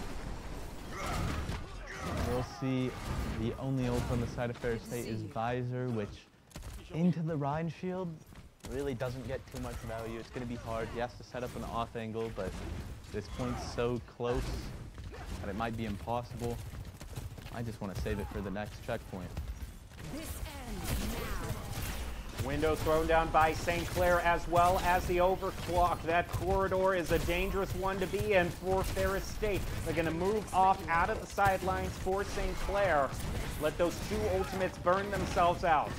They've dealt with two, but they got three left. A huge shatter being brought out by St. Clair. Oh, but the wall goes up right into the own Rhine who charges. Oh, no. You prevented your Rhine from doing even more havoc to the team. I mean, you won the fight, but again, there's just weird things that are happening with St. Clair's performance here. And even though Ferris State did lose that fight, you got to give them some credit. They kited the first two ults by St. Clair, the window and the Sojourn ult, so well. And they didn't use any ults of their own. They forced three on the side of St. Clair, allowing them to just focus more on this point now that they uh, have can have an ult fight. We're on to the fourth flash point. Kitsune Rush and Visor to open it up. It's answered back with the Blizzard and Beat. And that Blizzard and Beat keeping Ferris State at bay. And St. Clair is fighting back with force. They're moving in. The soldier is just gonna just gonna take himself out for the good of the team. Let St. Clair take the point. And allow Ferris State to fight back as a full team shortly. Some great ults from St. Clair there, splitting Ferris State when they had that ult advantage. Now they almost have the window Sojourn ult combo back up again. Can Ferris State kite it as well the second time is the question. Here goes the window, a whole bunch of damage onto Ferris State, forcing them to just hang back for the moment. Good to see you. Ferris State doing so well at avoiding that window, just running, taking a different angle. And the reap roll from Kabushki. Oh, Kabushi! Oh, my heart is broken. He was the one to turn it around so many times for Ferris State, and it's fizzling out. We're gonna be going on to the fifth and final flashpoint. Again, seems like another big ult fight will be coming up. Ferris State, you know, 50% to the supports in Visor, and they do have that Junker ult, and there's no cleanse this time around on St. Clair's side. So if Ferris State can get a good engage, it's going to be hard for St. Clair to survive. Gonna go all the way over to Ruins to decide the fate of this match. Will St. Clair sweep at 3-0? Oh, will Ferris pick up a victory? They've got this rampage. The Junker Queen is moving in. She brings it out, moves, goes over the whole team. A huge anti-nade also placed onto St. Clair. Immortality Field to bail them out, but one of them falls. It is Noxious. Meanwhile, the rest of the team traded two for one. Kavushki comes through with the double, the the triple. He quad. He's back in form. He is there to push Ferris State to the fifth flashpoint. Say we will not be counted out. Kavushki knew the camera was on him for the last Reaper roll, and he said, I need to redeem myself. And that he did. Production, I, I'm just asking you, if we do a top five of this, I just want all Kavushki plays, okay? Just make it the top five Kavushki plays, please. I'm begging you. Ooh, the wall from Emmer and Kavushki gets caught out. Noxious and Emerin pick up a double. There's just three left for Ferris State. Kabushki was one to fall. And now this Rein is just going to do what he does best, just bully smaller heroes around. St. Clair picks up the point. More than halfway there for Ferris State. They've got to overcome possibly five ultimates. St. Clair is almost all charged up. Ferris State, though, they're also building up ults of their own. It's going to be a battle of who can use their ults better, and it looks like St. Clair's going to do their classic where they go early with them. Ooh, that's a scary window for St. Clair to set up. Chances split because of it, and St. Clair runs them over. The rest of Ferris State just getting out of that fight.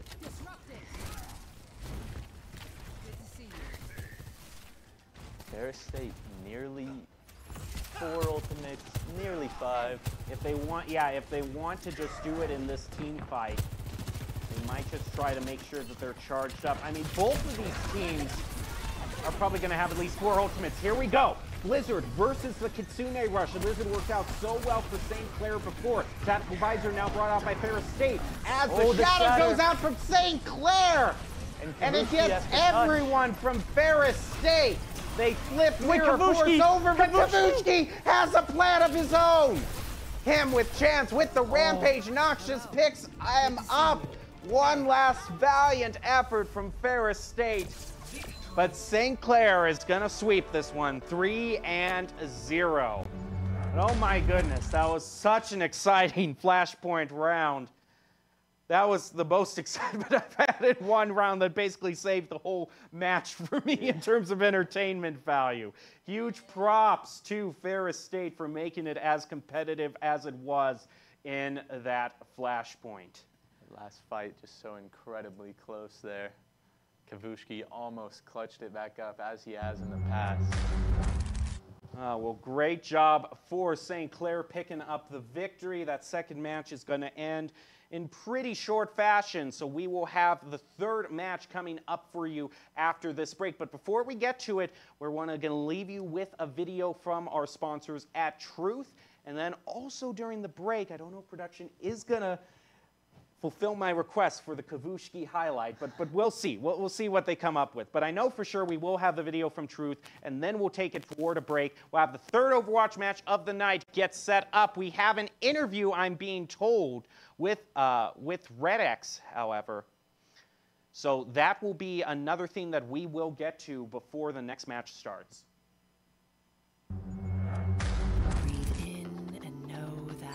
That vaping nicotine can actually increase feelings of stress. Yet some vape companies get rich telling you it's a stress reliever. So let's call it what it is. It's a breath of stress air.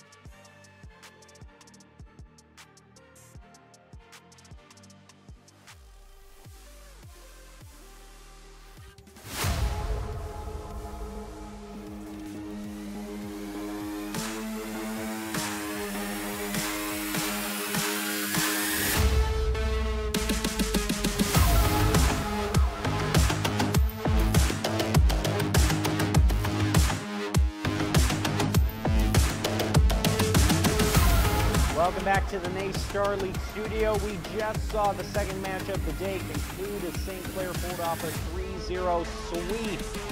And we have a player from the victorious team that is going to, that is going to be joining us right in the middle of the Nace Star League arena. I'm your host, Palmer. I am joined by Matt Murphy, and I think we're going to be joined by FredX here from St. Clair. St. Clair Saints. FredX is going to be beamed into us live to see. We're just going to ask him just about what Oh. happened in that last match. Red X, excuse me, I'm sorry.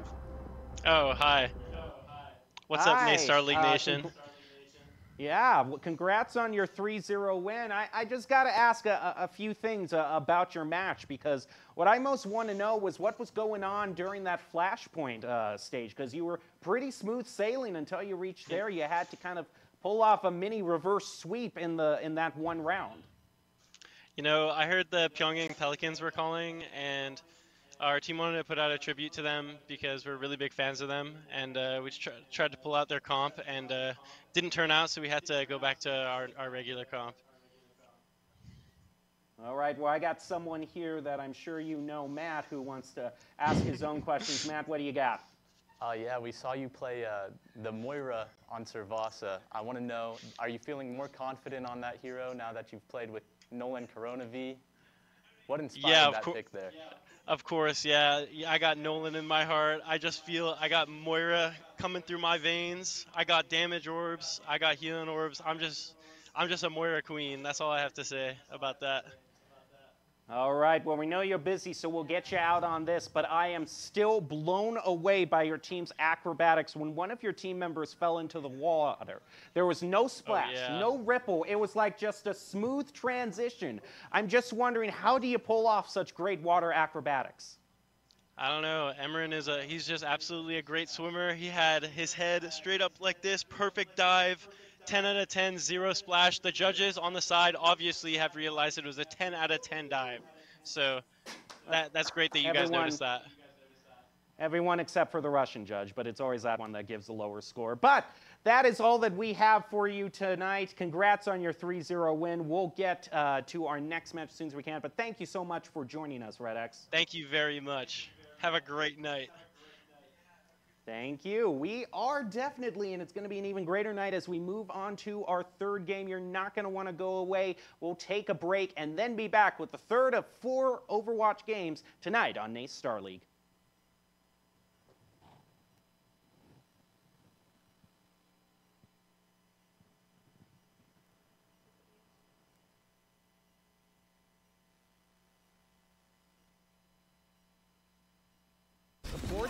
is the next.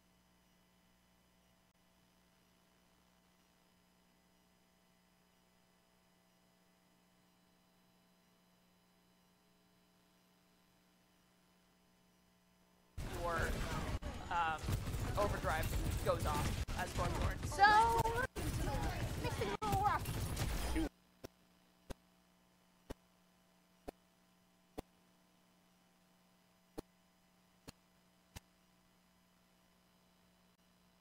Smith come online for Ashland. They're going to use both of them back to back, the beat and the rampage, and everyone from Kentucky falls. And now payback. Kentucky also brings the Molten Core to the party. Both rushes wear off that Junker Queen, oh! taking a lot of damage, and she is gonna fall. Terra Surge also secure the fight. Kentucky wins it, but they had to spend our lead studio. Currently in the middle of our break between our first and second Overwatch matches of the night. But right now, we actually want to take a short time to interview Clario, one of the DPS players from Kentucky, who just won their match in spectacular 3-1 fashion. So I don't think they're gonna. They're all grouped. They try and get right past oh. St. Clair, but they are not able to make it. Oh, we have a Rein battle right on point, but the rest of the DPSs from St. Clair turn around. Yeah, it's gonna be a lot harder for Chance on Junker Queen to survive against the Bastion, Zarya, and the Zen. There's so much damage potential.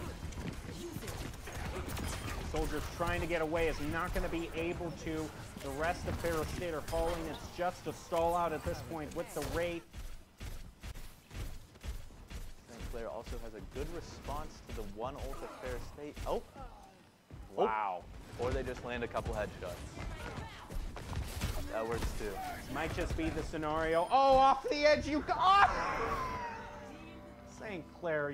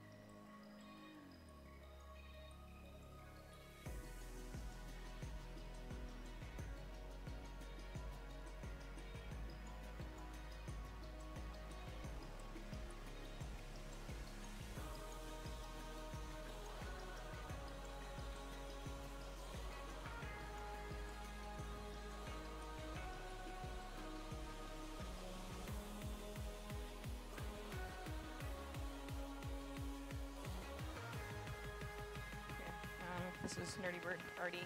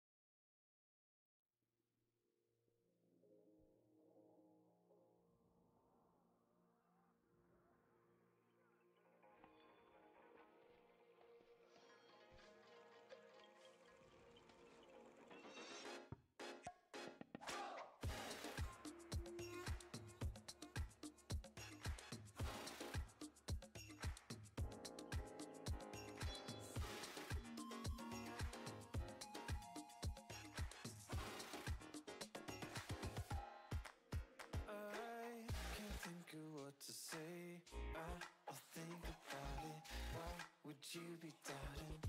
So don't doubt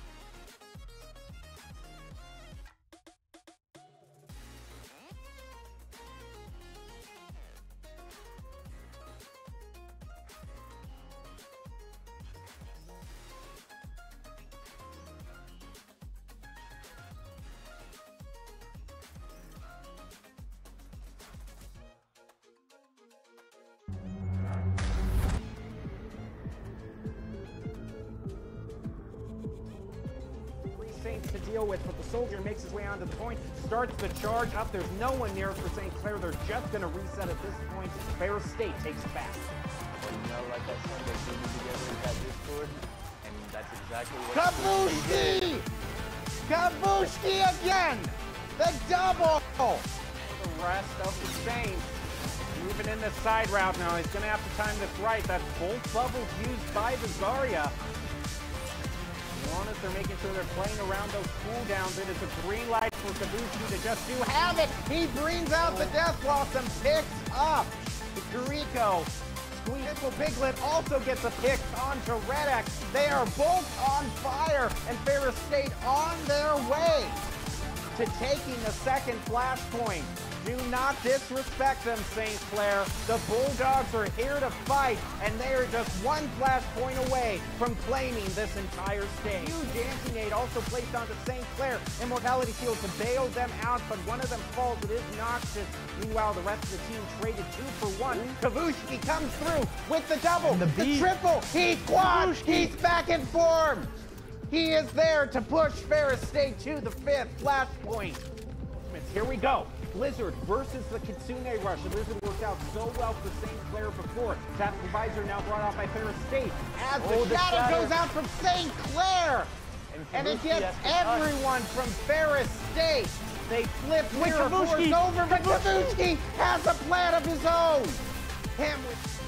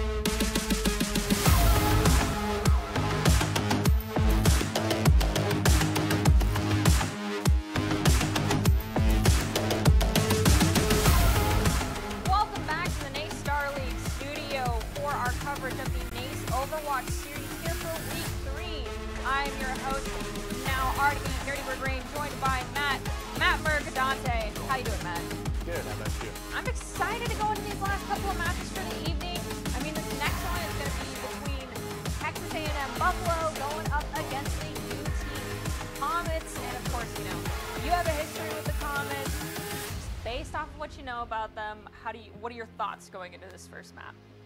Um, so I'm actually pretty close friends with some of the players on their teams, and I've heard they're doing quite well in scrims recently. So I'm excited to see what they have to pull out. Obviously, they're not telling me all their secrets. That's fair. Well, we what's definitely not a secret is how we ended up here tonight. So to take a quick look at the entire schedule that we had leading up to this point, we are going to be starting our third series of the evening, but two have completed. And if you missed those, we can give you a quick recap of how those shook out real fast between our first match and we can take a quick look now. First match was between Ashland University and Kentucky. Ended up being one to three. Kentucky winning that one out on the final map. Then St. Clair taking on Ferris University. St. Clair 3 0 winning it out on Suravasa. And now we're going to go into West Texas A&M taking on the UTD Dallas Comets, which of course still a best of five series. And then after that, we'll go into the University of San Francisco taking on UNLV in our open division for the NACE Star League. So we got to start out on control, and we got some leaks. Yes. Someone was very fast to let production know which map they'd like to start on, which we appreciate. Nepal, though, is what we'll be starting on, and for that starting map, we'll have these players for this side of West Texas A&M. It's going to be Icarus, Mommy, Karma Eternal, Juicebox, as well as Miss Olivia. UTD, Do- Dewey, Mallard, Kashir, Phone, and Puggo. All right, so as we get ready to jump into Nepal, if theoretically we start out on Sanctum, what map, what uh, heroes do you think we'd be seeing from either of these teams, or what would you be anticipating we'll see? I'm going to say, at least from UTD, seeing that starting roster, you know, I would have expected Derpy, but now that he's not in, I'm going to expect a Junker Queen, maybe. One of the off-tank heroes, at least from them. Okay, well, I, I mean, if Derpy was in, I'd expect Reinhardt. Yeah. I mean, Reinhardt all the way. That that's his go-to pick. So with that in mind, yes, I do agree. Most likely going to see the JQ. JQ doesn't work out, possibly swap over to the Zarya. Not so much Battle Cattle. If we see the Orisa pull out, I will be a little bit intrigued. And so Nepal, we've mentioned it before. Jacob, who was on earlier, definitely, you know, sang his swan song to that map. Enjoy seeing environmentals. I love seeing environmentals, but you're not so much of the Lucio player. So is that kind of a bane when you are the tank, even though the passive that kicks in makes it a little bit harder to get booped off? In Overwatch 1, I'd say I wasn't the biggest fan of him, but now that that, that passive has come in, I, I can't complain about it. Okay, so if your teammates get booped off, it's like, that's your fault, not mine. Yeah. Simply put, that's totally fair and fine, but hopefully no tank makes a stank, makes the mistake and ends up going into the drink, as so to speak, as we get ready to load into Nepal.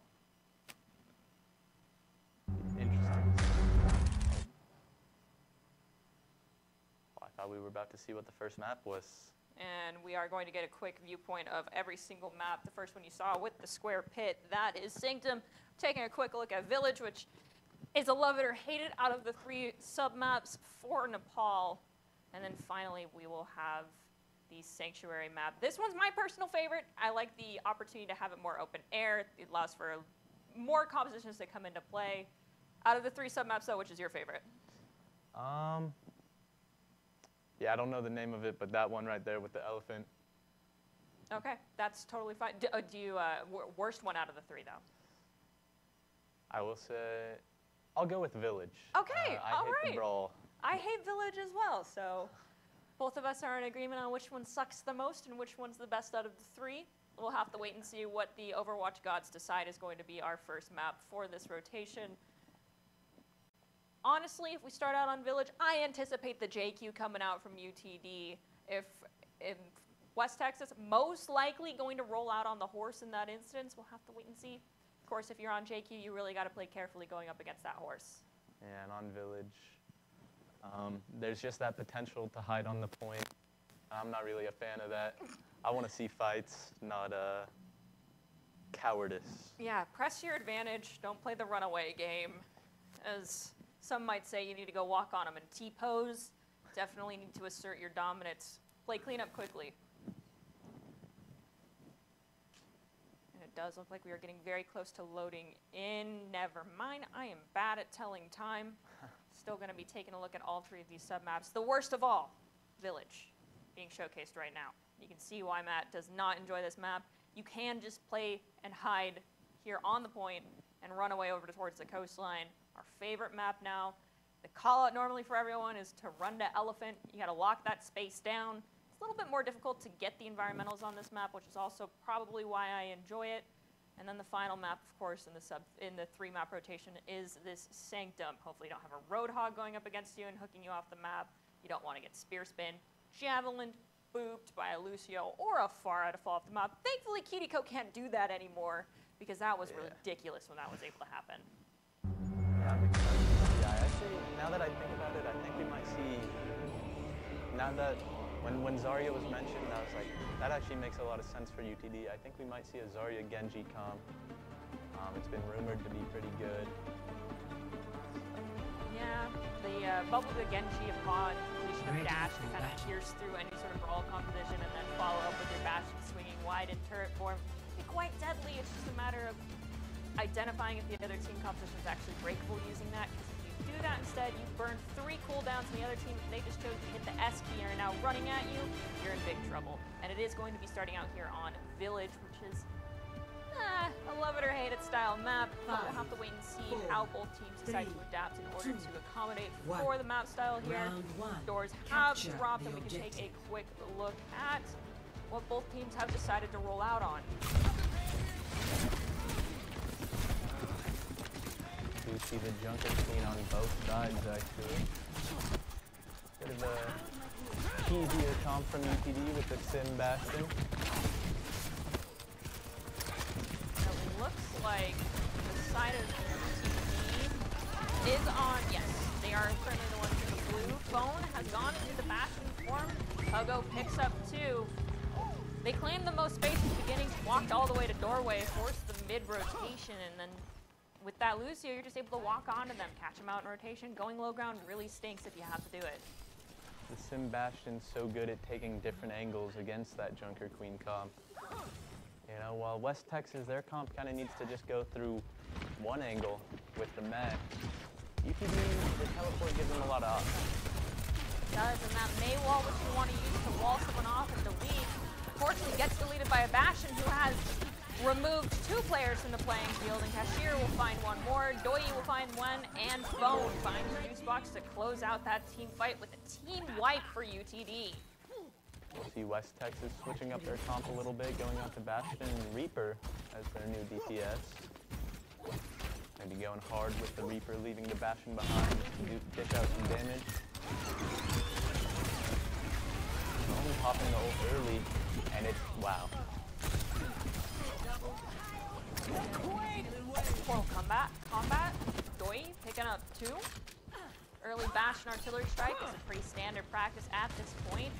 You drop it early, you force out immortality, your team's able to go in, or you drop it early and no one's ready for it, and they end up getting deleted with the follow-up damage. UTD here now, they have a ton of ults online. Looks like West Texas is going to try and go through main, but they're going to get caught by the Junker Queen. The response Rush, but don't think Suzu landed on people that were in the rampage.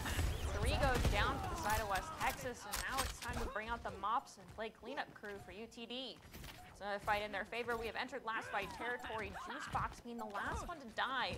Makes getting this touch difficult. It's going to be Icarus swapping over to that wrecking ball, looking to get a couple pixels into the collision box at point. Gets bullied by the Lucio first waiting for that last Oh. percentage to get a touch, finds it, but Puggo, Kashir, Kashir, and Doi all pick up one. Icarus goes down to phone. The last player left standing is Mommy on the Reaper. Can't even make it into point. That's Village going over to UTD. UTD, similar to the, the match with uh, St. Clair, just always going first, always being the ones to set the tempo, and it's really making it so West Texas can't prepare. I said it in game game one. The team that ult first, the team that ults first is likely to win the fight. Means you have a plan, or you're just going a little ballistic and you're like, eh, screw it. I'm just gonna hit the Q button. And it looks like in order to see our favorite map, we have to have the side of West Texas A&M went out here on Sanctum in order for us to move on. So see if we do see any environmentals this time around. it's up to UTD to either shut the door here on control point and send us over to hybrid, or for West Texas, post up, close, and set the pace to go into a third map. It's here on the Junkrat, pummeling damage to the front doorway.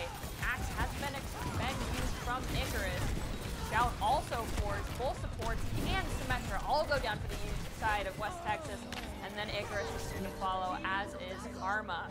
I really like the read from UTD there, going the Junkrat this time around, just able to spam them through the chokes. And it's really strong into those Junker Queen comps, which they predicted this time around. Bastion turret form coming out from West Texas. Already on cooldown again. Shout turret come out from UTD. Around the corner, they pick up three. Icarus does pick up Kashir. Losing one player and taking out everybody else is A-okay if you're looking at UTD right now. Kashir took a, a, a very hard off angle there in their spawn, and he did go down for it, but the damage was already done. All of West Texas was turned around, and UTD ran straight in.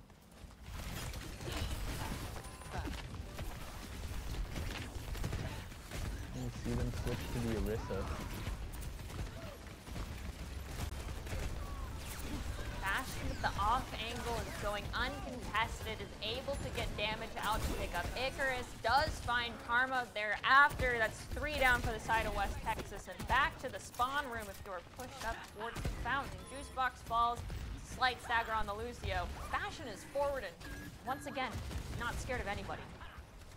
Great angles being taken from UTD. Once again, Kashir just so far to the side. There's only so much that can punish him on West Texas without a long rotate.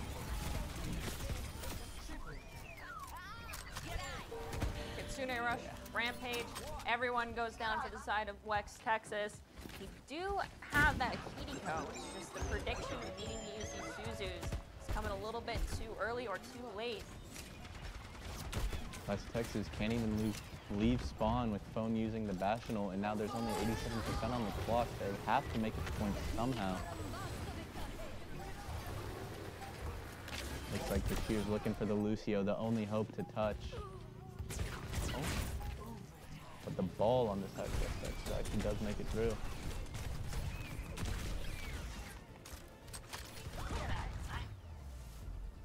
And with that, UTD is going to walk away from map one, Nepal, on a 2-0 victory and send us over to hybrid. Now the question is, are we going to see Kings Row again? I don't know. But we've got Puggo coming in with the play of the game on JQ. Any of one of those rampages could have been play of the game here, and it's actually going to be walking in first fight here on Sanctum and deleting almost everybody. A little bit of help Junkrat and Bastion. Yeah, just so much damage coming in through that doorway in a tight room against Junkrat. Orbs flying everywhere, the Bastionade. If you see Junkrat and you see a Bastion and you're in a small corridor, get out. Like, Yeah. Junkrat has so much power. The you're dodging any Junkrat mines is just borderline impossible. Take a different route. It. I am so sorry that you had to meet Kashir's Junkrat on Nepal. Now, with that being said, out of all of the hybrid maps, if you were to give advice over to Texas A&M right now, which one would you say you should go? I'd say they should try and take a gamble. Go like Blizzard World, try and go a poke comp. See if they can turn things around on that one. See? I'm not absolutely crazy saying don't pick Kings Row every single time. I know Jacob asked something similar of you in the last series, but you know, I'm just going to continue to support the narrative of maybe we don't go Kings Row, but we'll find out ultimately what the side of Texas A&M decides to go with. It is going to be their map pick. Once again, it is hybrid, so we're waiting on word from production regarding that. If it is Kings Row, we'll likely see something similar to what we just witnessed. So That being said, it's going to end up being Texas A&M able to pick map, which means UTD picks sides. I mean, considering their comfort on almost well on their compositions, if it is Kings Row, I wouldn't be shocked if we actually see them attack first. Yeah, I, uh, to be honest, based off of that, I, I'd expect UTD to pick defense. Just, uh, I bet they're feeling real confident.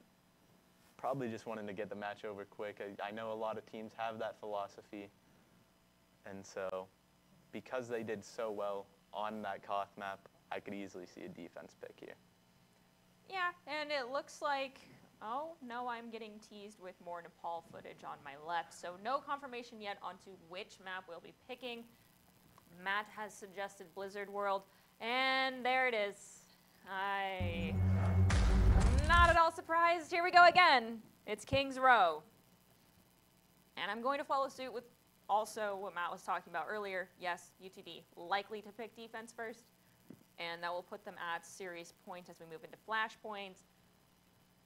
Defending first is an optimal strategy, especially if you're feeling confident. Attacking first, if you're struggling, though, sometimes works out, but it really depends on what your comfort composition is and how much information you have on the enemy team. So we're about to jump into the start of Kings Row 4 Map 2, and if you're just jumping in and joining us, currently UTD is winning in our series. Um, Nepal, they 2-0'd. So let's see if they full hold here on defense, or they did miraculously choose to shake things up and attack, they get all three points. After all, Kings Row is an all or nothing. Don't normally see us stop it in street phase. Yeah, usually you either get full held or you end up full capping. No in between. So I'll have to see how it goes out, how the attack goes. It is a really good map to snowball on, of course. I do. I- think since the transition from Overwatch 1 to 2 and we dropped the second tank, you know, the day when Kings Row, you could have one composition for a first point, and then Street Phase, you had another, and then when we went to the Optic Factory, you swapped to another comp. Those are long gone. So The snowball ability is, I think, even worse because of that.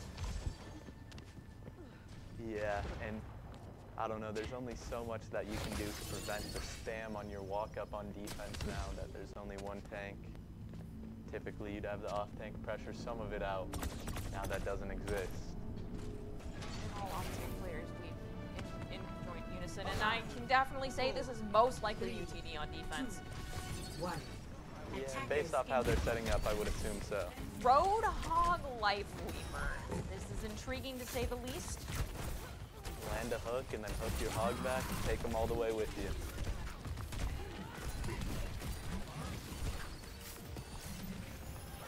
Roadhog backs off, healing.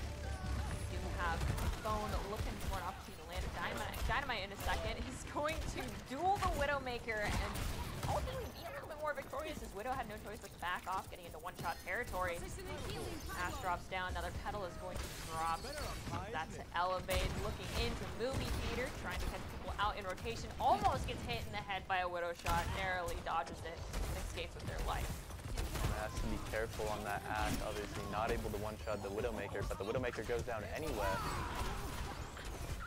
West Texas just rotating around the point, trying to force him off the high ground.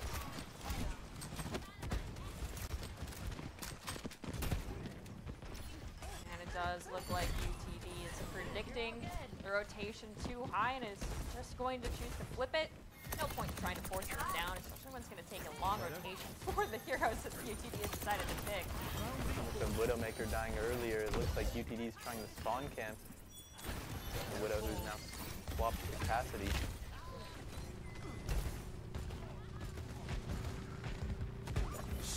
Point pressure coming out from West Texas. Did manage to get one tick and counting. That Life Weaver is such an uphill battle to get an elim through though.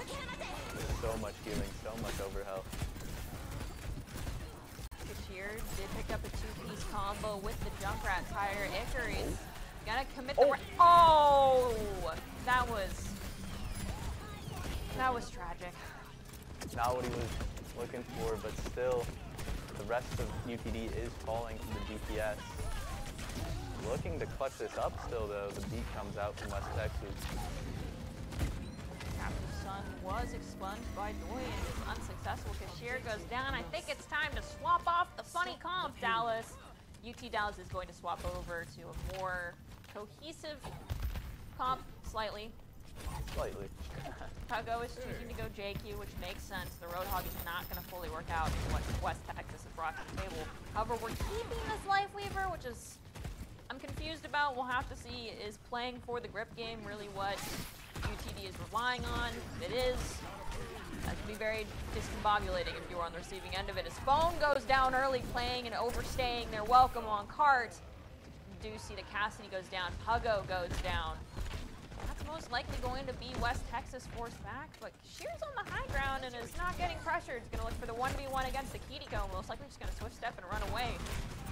Chiefs UPD is taking uh, a lot of interesting 1v1 angles, and West Texas was doing a pretty good job at punching. This time around, just waiting for respawns a little bit. A great pull from Icarus, but another great pull from Mallard. Reaper just went on a journey over on the right side. I think walked completely through West Texas. Didn't shoot, but was stomping. Not going to be caught out. Free life is popped, forcing back everyone from West Texas. We see a yoink on the Karma from Puggo. Karma's going to get deleted. Yeah, when that Tree of Life comes out, West Texas tried to kite. Reminiscent of Overwatch 1 Rally. Just so hard to get an elim through. So you see them trying to avoid it, but that pull was great from Puggo. This time, if they don't scout the high ground, the Reaper could get a surprise Death Blossom. Looks like he may have been spotted out. Not to mention trying to force Oh. Archway against the Junkrat is very painful. We do hear Deadeye from West Texas is going to be used. Captive Sun in response to Doi. Kashir uses Tire, picks up two. Phone walks in, finds one. Doi finds another. Puggo picks up Karma, and that's a team wipe for UTD. Flanking. West Texas, they are building that Junker Queen ult, and it's going to be really strong against UT Dallas. The only thing they really have to do anything about it is that pull and it has to be timed perfectly, because remember, it doesn't cleanse. It just makes you invulnerable for a little bit. And they use it early. Oh, but the death blossom. Oh! Death blossom gave them the time to reset that cooldown and take this fight with a different approach. Enjoying the view? Huh, here they come. Optimus 4. Queen and Junkrat both stationed on high ground. This time West Texas is going for a different approach, but because we check the wide angle, Reaper is not going to be spotted until, unfortunately, the loss of boost box. Icarus goes down to Kashir as well. Puggo will find Karma. And it looks like Cole did find Phone, so one elimination was given over to the side of West Texas. But getting that elimination is huge when UTD is trying to spawn camp. Now they're down to a 4v5 if they want to take the fight here, which is obviously not favorable, so they're going to back up a little bit. Try and buy some time.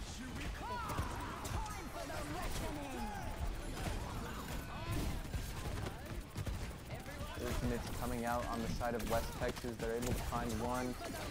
And both taking the rise together, and it actually ends up making Icarus avoid the Junker Queen ult. What? Phone got two. Icarus gets Doi. It's always terrible when your own Life Weaver ends up giving a petal to the enemy team. It's helpful. You see Puggo go down to Juicebox. Kashir goes down to Ik takes down Icarus. Kashir does die to Cole. Texas A&M finally getting payload progress, rounding library. A closer respawn on the side of West Texas really helped him in that fight. There were a lot of trades. Bone taking an angle if he's not seen, but it looks like the passing Maka. Please spot out that Reaper. Spot phone out. Oh, Stop and the Sonic comes through. And they Yeah. Higher from the spawn. It's going to require a perfect Suzu if they want to live through this. Hanzo goes down. Sheer is eliminated by Karma's aerial strike. We hear Captive Sun is also initiated. Doi and Puggo both picking up one apiece. The grip comes onto Puggo to take Puggo to high ground. Bone finds Karma. I believe it's just this Reinhardt left standing on point. And that's the end of round one in West Texas A&M's attack. It was a great grip from that Life Weaver there. Looked like Puggo was about to fall. Switching. So low HP, and the Bastion was beaming him. Phone is getting away with so much. Living rent free in places he needs to pay something for. West Texas is learning to check those angles now that phone has taken them, you know, so often in this match. But sometimes it's difficult for them to clear it out because UTD is engaging while they're trying to.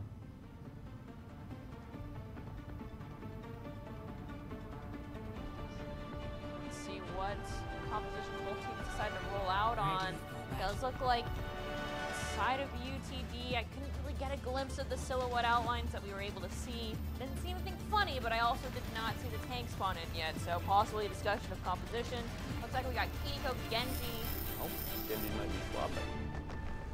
Dash backwards into spawn. Let's see what ends up happening for the side of Texas A&M. Kiriko's definitely staying. Perhaps a Doomfist, but Oh, oh boy. a lot of people like to, to do picks they're not really going to stick on in the spawn room on attack. They like to really mess with casters. Five, Yeah, four, so we'll have to see.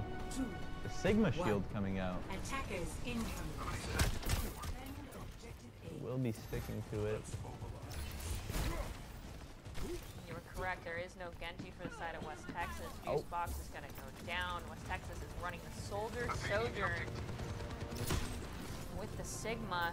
Someone has to choose the contest point unless they're going to go with the two toothpick and then press because they did lose one of their supports early on. However, Icarus goes down.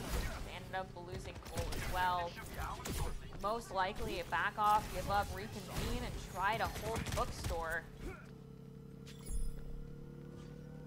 An underrated combo, I would say, is that Life Weaver and the Doomfist. It allows the Doomfist to use all of the cooldowns and still have a way to escape. Yes, most definitely. Her Doomfist can go in, hit every ability, and then scream grit me. However, we've seen the Mei swap into the Aretha. That is Doomfist full charge because of Icarus, and there wasn't follow-up with the Oh, but the going boop. to Spear Spin and the Cassidy swap in order to add the hinder. Puggo goes down. That's up one right now for West Texas. Heart's not at Archway yet. They can't theoretically go forward. West Texas on the Cassidy and Soldier have to be so careful of the Widowmaker at all times, any moment. Watch their head. Building the empowered punch so easily. That's Suzu Use. Puggo can hit the Meteor Strike whenever he sees fit. Goes in the backline after Yari. Yari's going to use Captive Sun. Doesn't look like it landed on Kashir and Kashir alone. However, two are already down for the side of Texas A&M. Now it's just the DPS who are actually coming back from spawn still. Yeah, and they're gonna have to cross into a, a deadly sightline of this Mei, this Illari, Life Weaver. And the wall comes up to even block them from touching. Barely make it, but the mail comes online if they don't have Suzu. Suzu was online, but Cassidy didn't get it. PD got a jump off point. UTD walks away map 2 victory, which means we're moving on to Flashpoint. We have predicted going to. Oh, wait, first, let's give the player their moments. It's Kashir coming in on the Widowmaker for the play of the game. There's Yeah. one. A whip, possibly another after that. I believe so, yes. Oh,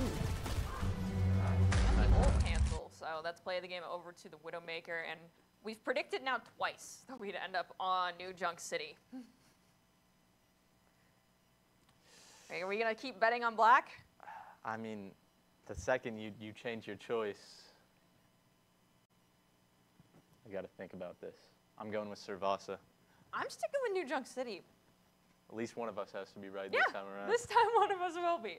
Whether it's you or me, that's ultimately up to the teams. Now, based off of what we've seen coming out from the side of UTD, I don't know if going Suravasa is the way to go because I feel like just the dynamic of playing the off tanks more frequently works out more on Suravasa, and plus, Doomfist can throw people off the map. So, I just think since we've seen it so often, something tells me players might prefer it, sort of a King's Row sort of situation. last week it was New Junk City. Oh, Yeah. now I'm scared. Now I'm exactly. getting nervous. Exactly. Exactly. So I'm sticking with the New Junk City call. I don't know if that's going to be the case. We're going to get confirmation from production here. And Actually, we are receiving it right now, I believe. If I'm wrong, I'm wrong. I'm normally wrong when it comes to these map predictions. It is going to be Suravasa, so Matt was correct. One angle, switch it up. I almost stuck to my guns, but then I remembered there's a whole fallacy named after that. I don't believe in sunk costs. Ah, that's true. And we are seeing a quick replay of how things played out on map one for the first map of Village Nepal. And we do have confirmation Puggo is coming out and Derpy is coming in for UTD. So likely going to see some Reinhardt play. Things are going to get a little bit silly. I'm excited. I'm not so sure if West Texas is ready. Derpy. Some people say he's a Rein one trick, but he does say he's proficient on Sigma, and let's just say there was one moment May 26 where that he was. Uh, one moment, okay. But that was one time. Let's just say there were uh, when there was once two tank players on UTD, Abdallah and Derpy. And even though one's an off tank, one might have done better than the other, and it wasn't the off tank. All right, I'll take your word for that one.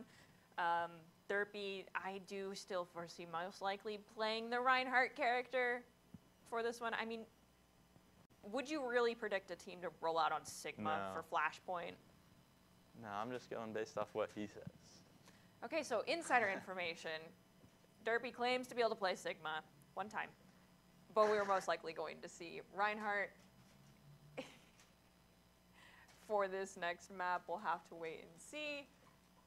And it looks like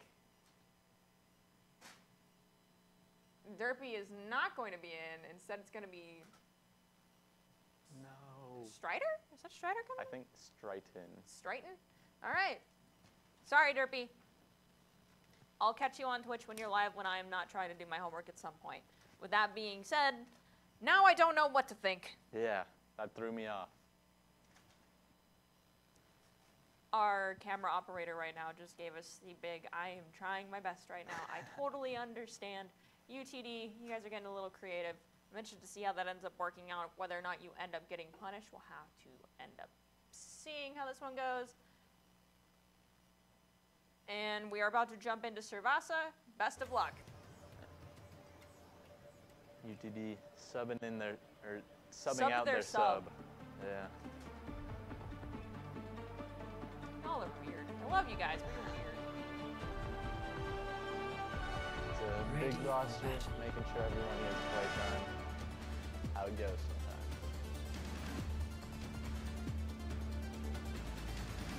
Okay, so for this first flashpoint, what do you think is more important? Reaching the checkpoint first or getting to optimal positioning? I think optimal positioning. It reminds me of uh, the Nepal elephant map typically you kind of take the outside angle and you wrap around the point a little bit. I see that a lot on this map. A lot of people will fight for that outside so that they can, you know, have that natural cover and just spam into the point for the other team trying to force it.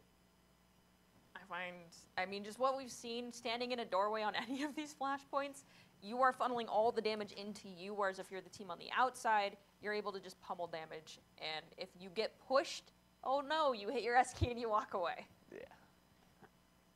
Oh. And it does look like we are having some malfunctions happening. It's Overwatch, small indie company. Things happen. It'll only be a moment before we are back into game, and it looks like everyone is ready to go. So we're going to jump back into Suravasa and see how well these two teams match up on our newest map type of Flashpoint.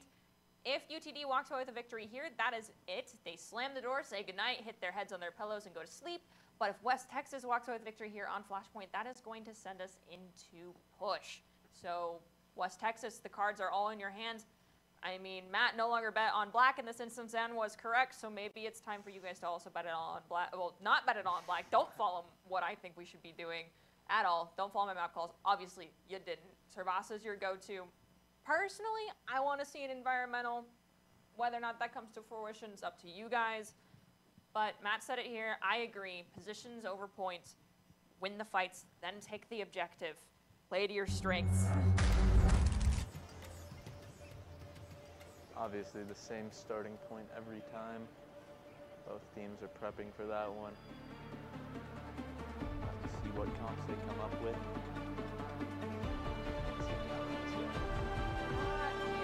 Are Ready taking our battle. beautiful cinematic route in through Suravasa. This is the very first checkpoint. The awkwardly placed mega pack that if you know it's there, it's nice. If you forget that it exists, well, I'm sorry for you and your health bar. I just found that out right now. This man plays more Overwatch than I do, by the way. Good to know it's there. Looks like we will see an Five, unexpected Junker four, Queen comp from three, at least one of the two, teams. Unexpected in air quotes for me personally if it's ETB that's running out of the Initial JQ. I just like flashpoint. JQ because of the amount of sustain she provides, plus the amount of speed you can get being extremely powerful on this one. It is West Texas rolling with it, and phone is on Reinhardt. Disrespectful to not let Derpy come in on the Reinhardt map. I agree. Phone, you better post up. If I don't see a huge shatter, I'm going to be disappointed. And Derpy, you better be disappointed. I'm totally But nonetheless, best of luck to both these teams as we engage here on point one. Mommy on the Genji is looking at Lifeweaver. Dash is used from Lifeweaver. Genji gets the Oh. 13 health and meets Bones hammer. That is the first elimination going in favor of UTD. I'm looking for it. it's the wall. I will say West Texas comp is really good against UT Dallas, just allowing them to surround surround UTD. They have to get close to do damage for most of the characters on UTD, not the Widowmaker, of course. You've seen this Olivia from Texas A&M go down. Icarus found Phone, so no tank for UTD right now. I will say something I missed. I didn't notice Doi was on Widow. Yeah, Puggo has gone over to the Yari, and we have Kashir out and Striking in for Junkrat play this time. Have to see how they compare. Here, Triton. Triton gets a pick early though. No Genji oh. for West Texas. Juicebox comes in on Doi after Tracer had done a disgusting amount of damage without Widow giving any care to them. The Widow's gone. Miss Olivia once again from West Texas, unfortunately, is back in Oh. the spawn room. There's a shatter onto Icarus. No Suzu to save you. Phone gets the elimination onto Icarus. Toll goes down to Millard. That is another reset for West Texas A&M. UTD Junkrat Tire online, and once again, when you're running that Kiriko against Junkrat, it's so hard to survive just because you have to time it perfectly, as opposed to the BAPs where you have a little bit of leeway with the immortality. going to this next fight. The deadly Junkrat tires coming up. We have Captive Sun both for UTD, but Texas A&M has Rampage online, Beat, as well as Kitsune Rush shortly thereafter from Miss Olivia. We hear Beat get dropped. Icarus uses the Rampage. Follow-up damage looking for the Reinhardt who gets gripped Oh. and pulled to high ground by the Life Weaver.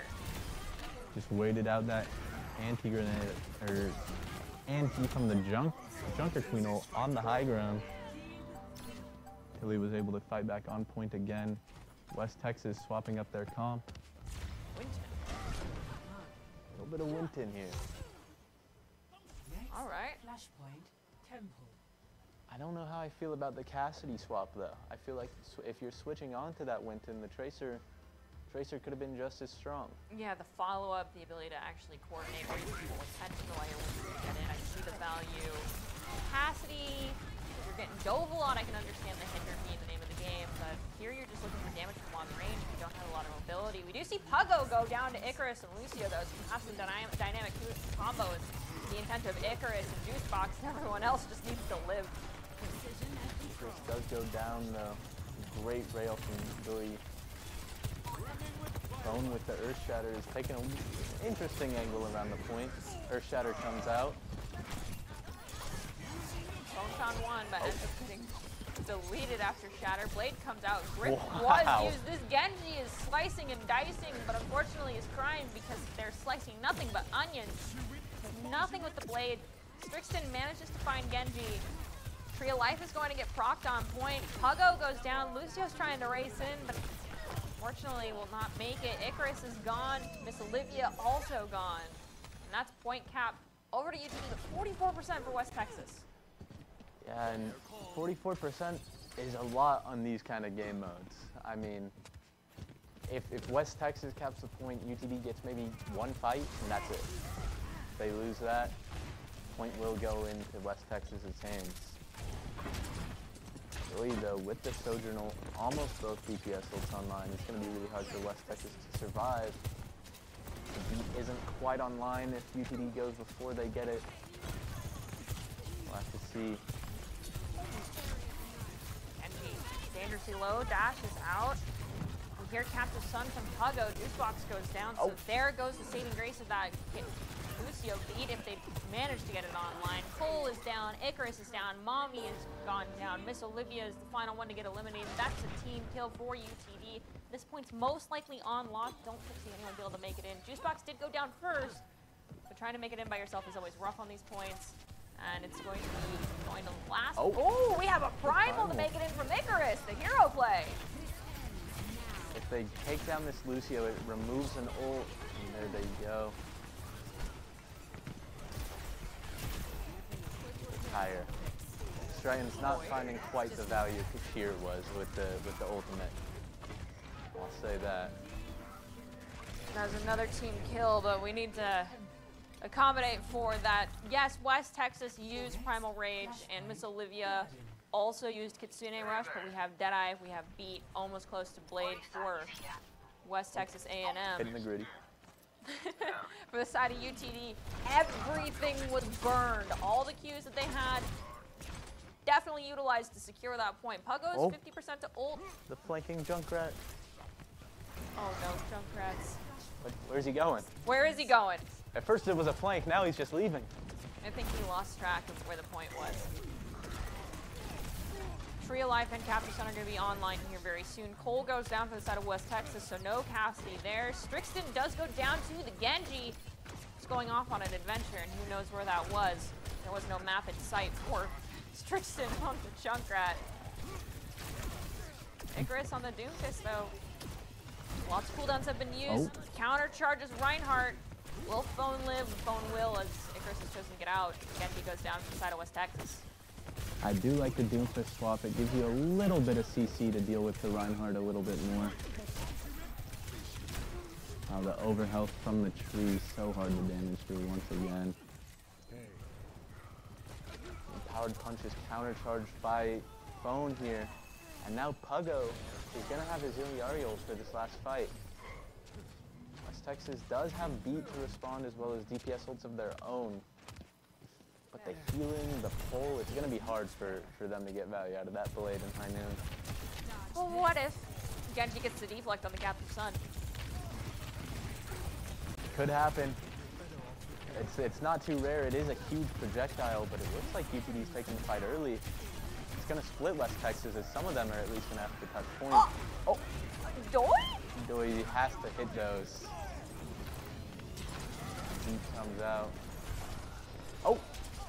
Oh, Lucio lives because The of the yeah the overhealth from Beat. There's Captive Sun, Puggo and hmm. Phone both got one. Icarus found the Lord.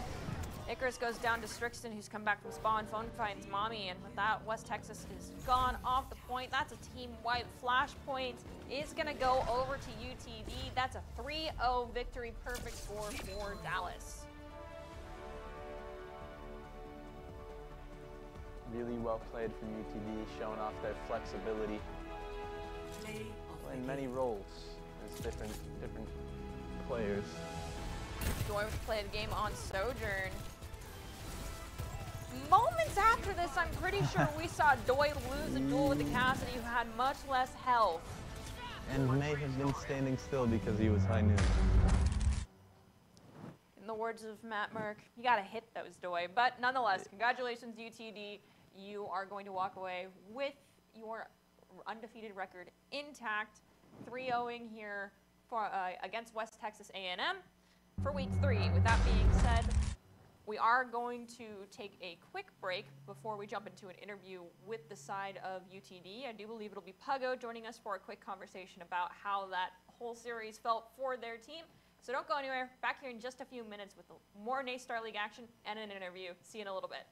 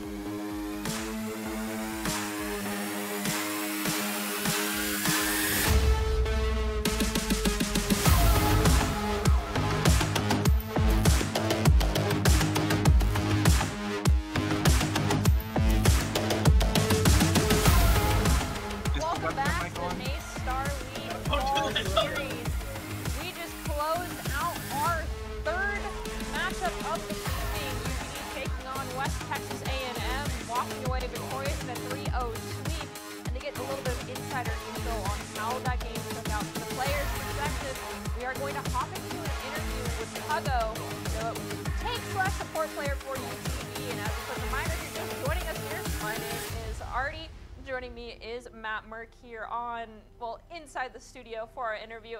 Hello, Puggo. Thank you so much for joining us for this interview. Thank you for having me. All right, so I gotta ask, and if you didn't anticipate this one, I'm sorry, but honestly, Kings Row point one defense. What were y'all thinking with that composition you rolled out rolled out on? Uh, we weren't thinking at all, to be honest. Uh, we just decided to play some different type of comps because we did not want to leak our real strats, and so I just rolled out with the hog. But then I got eviscerated by the other team. Like, I couldn't do anything. Yes, yeah, um, that was a. It was quite the uh, slaughterhouse a little bit on your road hog for the beginning, but you guys definitely shaped up and fixed things. I see what y'all are doing in the background, you silly gooses. Anyway, so Kings Row, you guys definitely managed to shape things up, and then we moved on to Suravasa. But Matt, what question do you have here for Puggo? Yeah, we saw a lot of flanking Junkrat plays from you guys. I wanted to ask how much of that was uh, communicated and how much of that was uh, someone going off the plan. Ah, yes, Kosh, Kosh, my good teammate. He never calms. He never calms whenever he does that. So we just try to plan it out ourselves with the rest of the team, you know. But we never know when he's going to backline. That's why he died so many times that map. So yeah, there's your answer. In other words, Junkrat got what he deserved for going off script a little bit. With that being said, Puggo, do you have any quick shout outs you'd like to give friends, family, anyone you want to give a quick hello to, and we can get you out of here on that? I want to give a shout out to my favorite coach, P3T9L Petal, the greatest alive, the greatest out there, to be honest. And the rest of my team, uh, I don't really like them that much. I won't give them a shout out. So thank you for having me. All right, thank you so much for joining us for a quick interview, Puggo. Hope you have a wonderful rest of your evening. And for those of you still watching, we have one more series to go here for the NACE Starleague uh, Fall Series tonight for week three, so don't go anywhere. We'll take a quick break. We'll be back here with more Overwatch 2 action in just a little bit.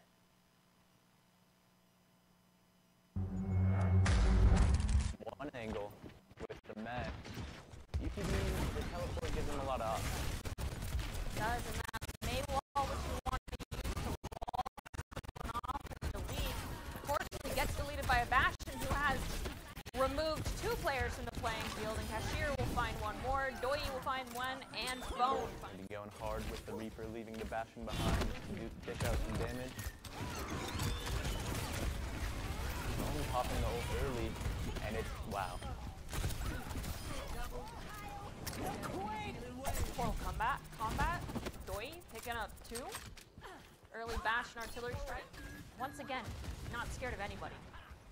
Yeah, great angles being taken from UTD. Once again, Kashir just so far to the side. There's only so much that can punish him on West Texas without a long rotate.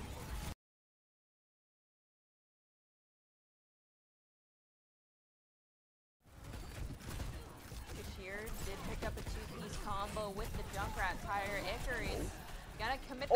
Oh. oh, that was that was tragic.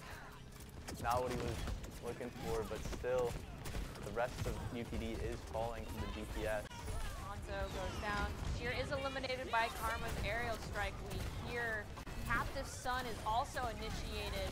Doi and Puggo both pick up one apiece. The grip comes onto Puggo to take Puggo to high ground. Phone finds Karma. I believe it's just this Reinhardt left standing on point. And that's the end of round one. Most definitely, her Doomfist can go in, hit every ability, and then scream grip me. However, we've seen the Mei swap into the Aretha. That is Doomfist full charge as there is, and there was a follow-up with Oh, but the going boop. to spear spin and the Cassidy swap in order to add the hinder. Puggo goes down. That's up one right now. It's Olivia. We hear Beat get dropped. Icarus uses the rampage. Follow-up damage looking for the Reinhardt who gets gripped Oh. and pulled to high ground by the Lifeweaver. Just waited out that anti-grenade or anti from the junk junker queen on the high ground. What if Genji gets the deflect on the Captive Sun? Could happen. It's it's not too rare. It is a huge projectile, but it looks like UTD's taking the fight early. It's gonna split West Texas, as some of them are at least gonna have to touch point. Oh, oh! Doi? Doi has to hit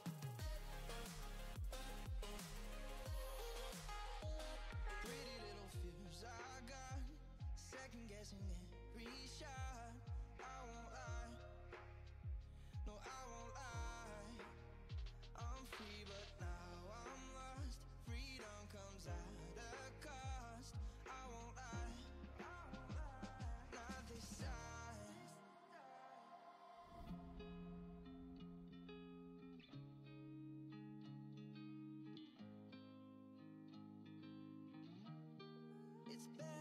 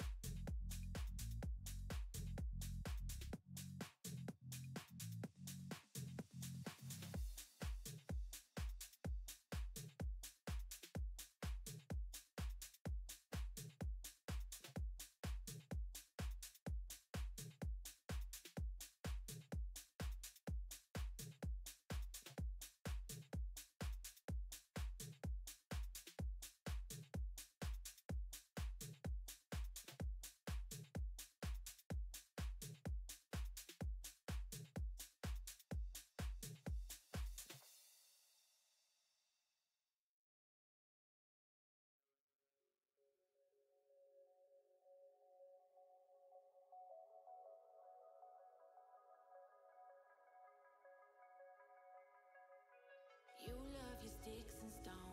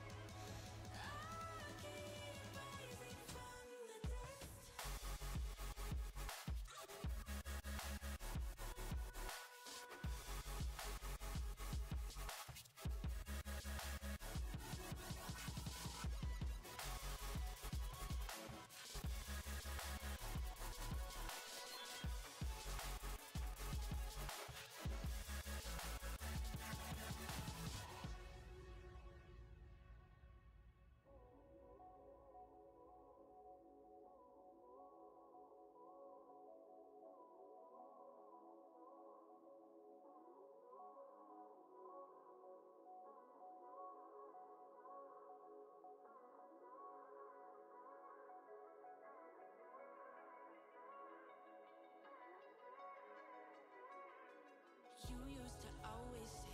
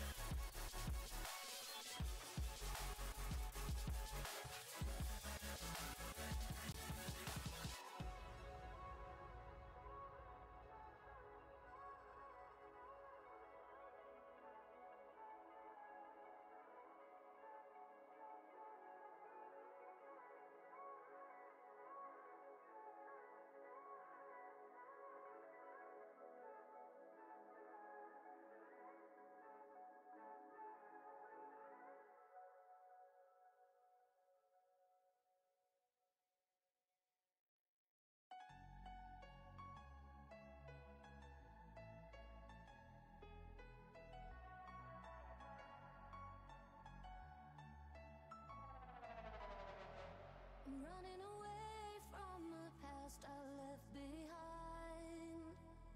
I'm looking for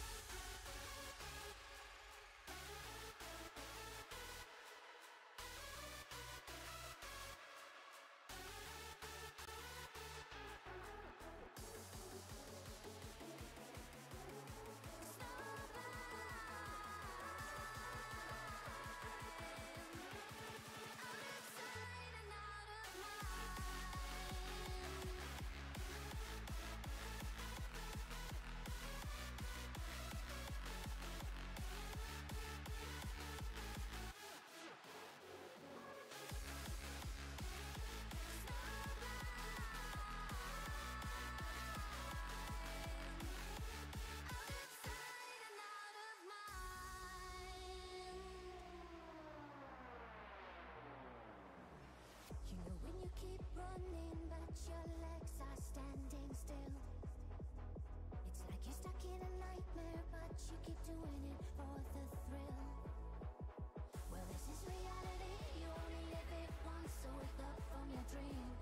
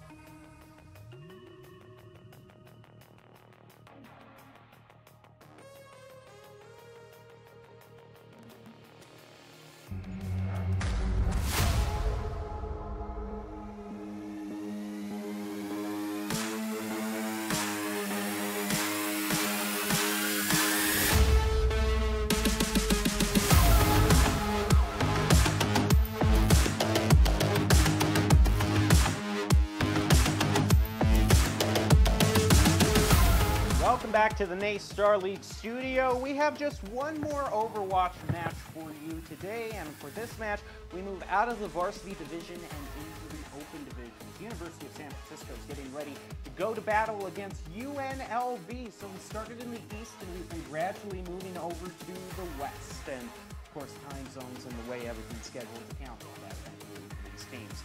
But these are two teams that in the open division, not as many matches. A lot of the varsity teams having 2-0 records or have been playing for two weeks, but these teams have a 1 and 0 and 1 and 0 record. So they've only played one game. So these teams are a little bit fresher out of the box. I mean, also, we talked about this whole idea of, you know, getting that perfect record from the very beginning and holding on to it all throughout the very end. A, that's a lot of games to play perfectly. Don't hold it against yourself. B, it's just the beginning. So you falter a little bit in the beginning. That's your baseline. It's only up from there. If you start at the very top and then all of a sudden you start to lose, that's going to feel a lot worse than, you know, your first game was a back and forth, ended up being, you know, you, you lost, but then from there, games improved, you started winning. It's much more of a fulfilling storyline from that perspective. Well, three teams that have already competed today have kept their winning records and keep on going toward a perfect season.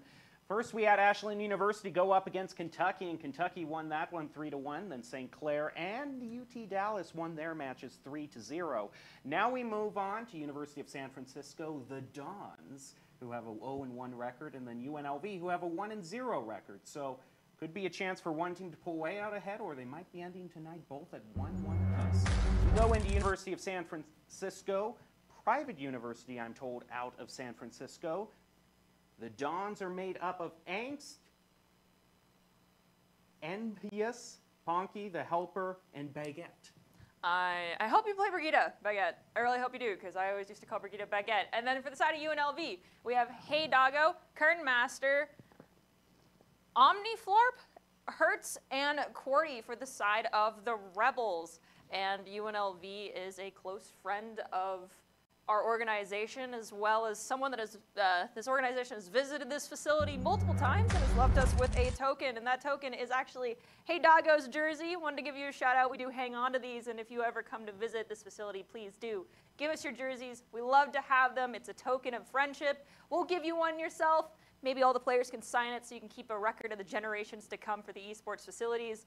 And we'll get it hung up on the wall. So thank you so much, Hey Doggo, for giving us that token. And we hope to see you again in the future. But for now, we hope to see you pop off in this game. And if you don't, the other team's going to pop off themselves. Speaking of the other team, quick correction, I realize now it's most likely Envious is the name that I had trouble with. It's like Envious, but slight twist on it like a lot of gamer tags have. So, I'm told we are going back to Lijiang for this first stage, which we have talked a lot about. We covered it pretty in depth at the beginning of the night. Yes, and so with that in mind, we can try to theorize about the lineups we'll be bringing out, but I will be honest, UNLV is known for their creativity. They like to make a composition that is, to be blunt, the clockwork meta of the college scene. They don't like to play to the meta every single time, but currently, right now, I do think QWERTY has the opportunity to definitely pop off on JQ or pop off on the Zarya picks. However, I want to see a duel of the battle cattle. I want to go to Barnyard and see which horse is the strongest. But if that doesn't end up happening, of course I understand. Not everyone likes to play Orisa, but for those that main her, it's always if you don't got the giddy, giddy out of my way. So we'll have to wait and see what these teams decide on for Lijiang, depending on which submap we end up on. If we start out on Gardens, of course we can, end, well, on Night Market, we can anticipate the TP. On Gardens, we can get a little bit more creative, and for Control Point, most likely going to be brawl-centric compositions. I like your idea of a barnyard battle. The battle of old Bessie and old Jesse. And one of them can live, but the other has to be put out to pasture. Well, there was a time in Overwatch 2 where, you know, there was a lot of horse and there was a lot, a lot of Roadhog play. I called that barnyard meta. If you saw a hog, you went horse. If you saw a horse, you could go hog or you could go horse. That was it. It was cow or pig. And that's where it ended. Suey! Exactly. Someone had to get it sent out to pasture, and it was, it was whichever tank was just not willing to adopt their playstyle to counter the other one. Now we are taking a quick look at Gardens. Hopefully, we have avoided the the uh, trip into the drink for most teams thus far. No multi boops from any support players just yet, but we have seen boops come from Lucio's and Doomfist alike on control center. You got to respect the space, respect the abilities of the enemy team, know what they have, and don't just walk over to the coastline. It seems we don't only have a barnyard uh, meta, but we have barnyard internet right now as we're just waiting for all the issues to be set aside. Of course, sometimes you can load in with the wrong settings, but it's all good. But I am thrilled. I do hope we start out on gardens because that is my personal favorite. Just, you, you know me. I'm, I'm pretty one note when it comes to my map preferences. Yes, if there's an opportunity for someone to be sent off the map into oblivion and for them to regret their choice to path that way, not recognizing there was a spear, a Doomfist punch, a Lucio Soundwave coming at their face, of course Jacob will celebrate and enjoy that. I personally, not the biggest fan because I hate seeing it happen after many, many years at this point of crying at people to stop doing it because you're serving yourself up on a silver platter. With that being said, I personally love Night Market. It is a battle of who can get their composition and the rollout executed the fastest, and that takes practice. Many teams make a mistake, someone gets left behind, and that is where people start to falter. And also, I love seeing teams be able to make it back when the TP composition doesn't work out or their TP gets broken too quickly, and rectifying their wrongs and winning out the first fight. And of course, there's still the opportunity for a boot, so I'm still happy. Yes, there is. It's just a little bit harder Mhm. if you're choosing to back off all the way to the edge of night market and you get booped. That is honestly that is your own undoing. Or if you're playing on the left or right lanes and get booped off, you you should honestly just be a little bit careful pathing on those edges unless you're a tank. So we talked about with Matt Merck earlier, the tank passive comes in clutch and makes you a little bit less scared of a Lucio booping you off the map now because you don't get booped as far. Hopefully, as we go into reload, we'll still have the same order of stages, but anything's up in the air. We could change it around. Just have to wait and see. Do you have any predictions as to the exact hero? I mean, you sort of mentioned both both horses, but is there anyone else? I mean, most likely we might see Zarya. Okay, so if, if just based off of what we know from both these teams, I think most likely UNLV is going to roll out on the horse. And then I do think that San Francisco is going to roll out attentive. Actually, no, flip that. Side of UNLV is going to roll out, roll out on JQ, and then San Francisco is going to roll out on the horse. Okay. I'm sticking to it, and if I'm wrong, I'm wrong. Unlike Matt, I do fall into the sunk fallacy, the, the sunk cost fallacy. I am willing to do it because the only thing that is on the line here is my sanity because I guess everything wrong every single time. And here we go. We're into the first match. It's the Dons versus the Rebels. I gotta say, I'm very intimidated by both these teams' Round logos. one. They're both guys in hats staring down at me. The Dons logo reminds me of Zorro. Ah, If anyone has seen the movies from the 90s, and that is a risky teleport. San Francisco. Oh, that they a got teleport away you with don't it. do. UNLV, I cannot believe you let them get away with that. Now this bunch of fighting on point. Javelin's gonna be thrown out. The Doomfist dodges it. Hey Doggo gets a pick onto Angst. Honky's the next to fall. MBS also. There's only one left, and they soon just go off the edge so that they can respawn as a complete group. UNLV, the Rebels, are going to be taking the point first off. Got a pretty healthy charge up on two of the heroes already, past 50% in just one fight. On and both Hey Doggo getting close. I think we could be seeing a Nano Blade be brought out in just one fight. Ah, that Nano Blade, I, I love it and I also hate it. It's an all or nothing ultimate. It costs two, and if you fail, your team is going to be in hot water. But that's a huge ante coming out from Hey Doggo. We do see Hertz get forced back with the Spear Spin and Spear. Both cooldowns, all three cooldowns from Baguette have been used. Confirms the deletion of Team Master. Now, it does look like the poor Poor Bassi on their team is gone. Hey, Doggo gets deleted, and it looks like they just gave up too much space. They let the barnyard in, they open the doors, and University of San Francisco says if you're not going to force us to use cooldowns, we'll take the space for free. Thank you. UNLV just has their Nano Blade online should they choose to go that direction. They'll also have a Meteor Strike and a Beat. Any damage that might be pushed out from this window might be able to counter it. Anthony is going to be thrown out on the U of San Francisco. And Hertz is going to bring out his Blade. They're going to be going with the Nano Blade combo. It only really manages to pick up Angst. Terra Surge used in response by Baguette. Javelin has been on point for you of San Francisco, but so UNLV is going to win the fight in the end. For the next fight, we're going to have Cordy coming with the Meteor Strike as well as Kingmaster with that beat. Unfortunately, no one on the side of San Francisco is going to have ult online, but we do see Angst is going to swap over to the Sojourn, and Anubis is swapping to Genji, and we have Baguette going with the Doomfist. So trying to match QWERTY on the Doomfist. Really interesting. This composition's borderline identical, but the attention pulling, the resource pulling that Tracer has from Omniflarp could be the the deal breaker here as Angst on Sojourn does not have that type of pressure created just spamming down, but the deletion of people is strong. We do see Angst go down, Pokey goes down, Hurt also is going to get deleted, followed up by the Helper and Anubis there as well from University of San Francisco. It's just Baguette standing. Doomfist left to just do his thing in an enclosed space. Spells doom for the Dons, and UNLV is going to claim the first map. I gave Jacob a look for that pun. I had to. It actually was more serendipitous. I just, as I was saying it, I realized how well it went together. Yeah, I agree. Also, nice alliteration. I'm, I'm here for it. We do see the Duel of the Doomfists in here. Not quite the Duel of the Fates, the Sith Lords that we had earlier with the full charge Zarya beams on these maps. But we are going to be going to my favorite map of Night Market. Does offer the ability to have some environmental kills, not as frequently as the Gardens does. So Jacob got his wish. There wasn't so many people thrown into the drink, but now it's my turn. I do anticipate the, seeing UNLV stay on this composition, the Doomfist-centered one. Lots of mobility, lots of disruption play, and they thrive in that chaos. The question is, can San Francisco respond in a way to quell it all, to corral them? Throw the lasso on, so to speak. I'm done.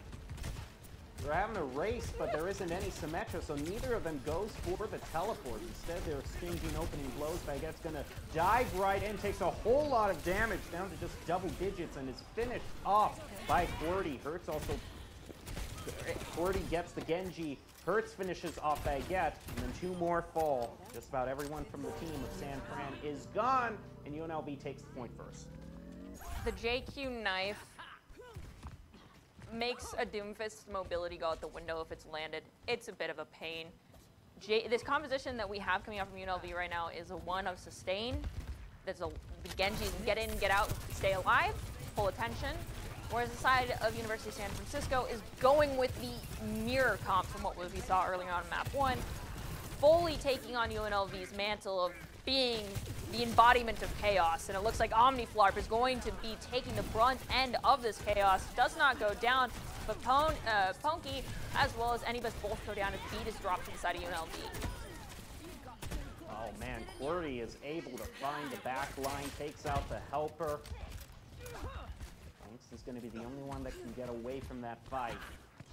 Now we're most definitely past 50% in the in the point charge, or just nearing it. With the next fight, UNLV is going to be sitting on this rampage, probably a beat and an overcut. Everything is above 75%, so we could be seeing a whole lot of Qs pressed.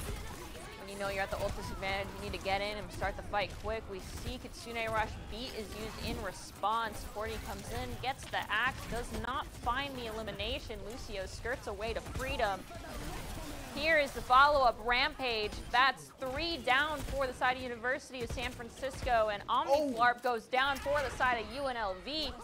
Tracer's the last to fall. We are at 80% for UNLV capping here on second point. Night Market. Now is the time to get into the point, figure out who's going to get first touch and who gets follow-up touch, because this is last fight territory for University of San Francisco. That was almost cinematic the way Angst tried to get away and then just one Kiriko knife ended that perfectly aimed.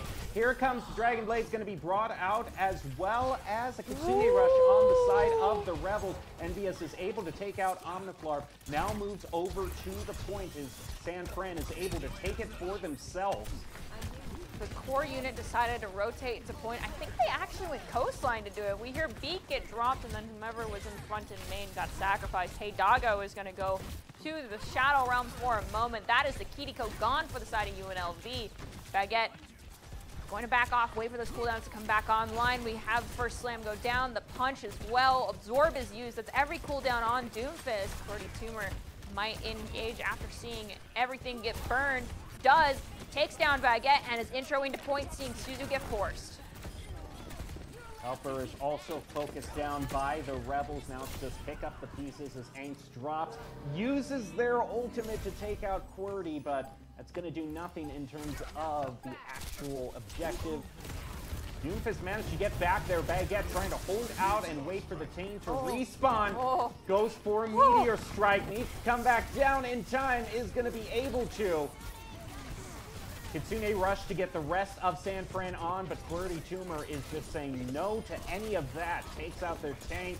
Got a little bit of everything gone now. Both their DPSs bite the dust. So last support is gone, and the Rebels, UNLV, claim. I have to give credit over to Agent. That pulse bomb onto the JQ. That does allow Doomfist to find more value on point. No JQ shout means no extra speed boost. It means no extra health. We are going to see play the game go over to 40 on JQ here for Night Market. Got an assist on Baguette and then follows up taking down Anubis as well as Agent and Helper cleaned up. It's running away trying to get a touch on point. But yes, I want to touch on that Tracer landing that pulse bomb onto JQ. It was huge. It allowed for the everyone else to actually have the opportunity to intro onto point. It's just unfortunately the target focus wasn't where it needed to be. They didn't focus on forcing a cooldown and then eliminating somebody thereafter. Hopefully we see that come to fruition in the next map. But ultimately, they were showing that they are capable of taking UNLV on. It wasn't completely one-sided. They decided to, you know what, let's not try to face them head on. Let's make them come back to us and play around that instead. It worked out well. It just unfortunately was not executed fast enough. Now Hybrid is on deck, and I've just decided to not even entertain any ideas. If I just have low expectations, I'll be surprised. You know what I mean? I either have my expectations met or they're exceeded. Yeah, I mean, it's probably Kings Row. Mm-hmm. I'm. I've given up really most hope on it not being Kings. But I mean, Open Division was the one group. That is true. They brought out Eichenwalde last time in the Open Division. So Open Division has given me hope, but I don't know if these two teams want to return that same hope yet again this evening to us. If they don't, I don't hold it against them. But if they do, I'll be forever thankful because I'm tired of Kings Row. I mean, I get it, but on the same notion, aren't you getting a little bored too? We like to stir it up, you know, add some flavor, some pizzazz, some zest. And you know what map has zestiness? I think Blizzard World has zestiness. There's color, there is sunshine, and it's a gorgeous map altogether. It is my dream Disney World I'd like to go to. At least let me see it in a video game. My rant is done. Those moments when you're going for an Emmy and yet you know you'll never get one. No, like, I just know it's going to be Kings Row. Production also likes to kind of prey on our desperation We're in this map choice by flashing a map that isn't going to be chosen up on the monitor over here. No, I'm not Uh, believing it. I'm not believing that. I'm not believing that. They're showing Blizzard. I'm not believing it until I see it. Unless we actually get into Yeah, game. Yeah, yeah. see? I know. I know what they're trying first to they do. flashed the Blizzard World map, and we're trying to tease us. They did that to us last week. We're not falling for it again, and it's uh, we're loading into Kings Row. But like I said, this was my expectation. You know, I said it, you know, to Mhm. this, and then I'm yeah, I either have it met or I'm happy. Yeah, you know what? I'm taking your approach from here on out. We're just going to straight up no predictions for second map. It is going to be Kings Row rolling into Hybrid, and if it's not Kings Row, we can be pleasantly surprised. And overall, since San Fran was the one picking, they picked Kings Row. So that leads me to believe that UNLV going to choose to attack first. I mean, if you want to go the route of what is the safest, what is the fastest, you always defend first if you get to map. If you don't get to pick map type, you always defend first. Mm. However, if you feel like it's going to be a very, very neck and, neck and neck game, and you oh, and it's going to like both teams, no matter what, are going to send us into overtime. You're getting all three points, then you attack first. And so it's kind of a matter of how much that they, you know, respect San Fran at this point. It's not just that, it is a level of understanding of what you're about to go up against. There are teams that have come up with, granted, yes, not in Overwatch 2, in Overwatch 1, some of the most grotesque compositions and things to do on King's Row, which is also why I like to avoid it, because we don't see the same level of creativity anymore, because we don't have a second tank. Yes, I'm going to grieve the loss of my two tanks. Without that, I feel like there isn't as much excitement on King's Row, but it is scrimmed into the ground, into oblivion, streamed into oblivion.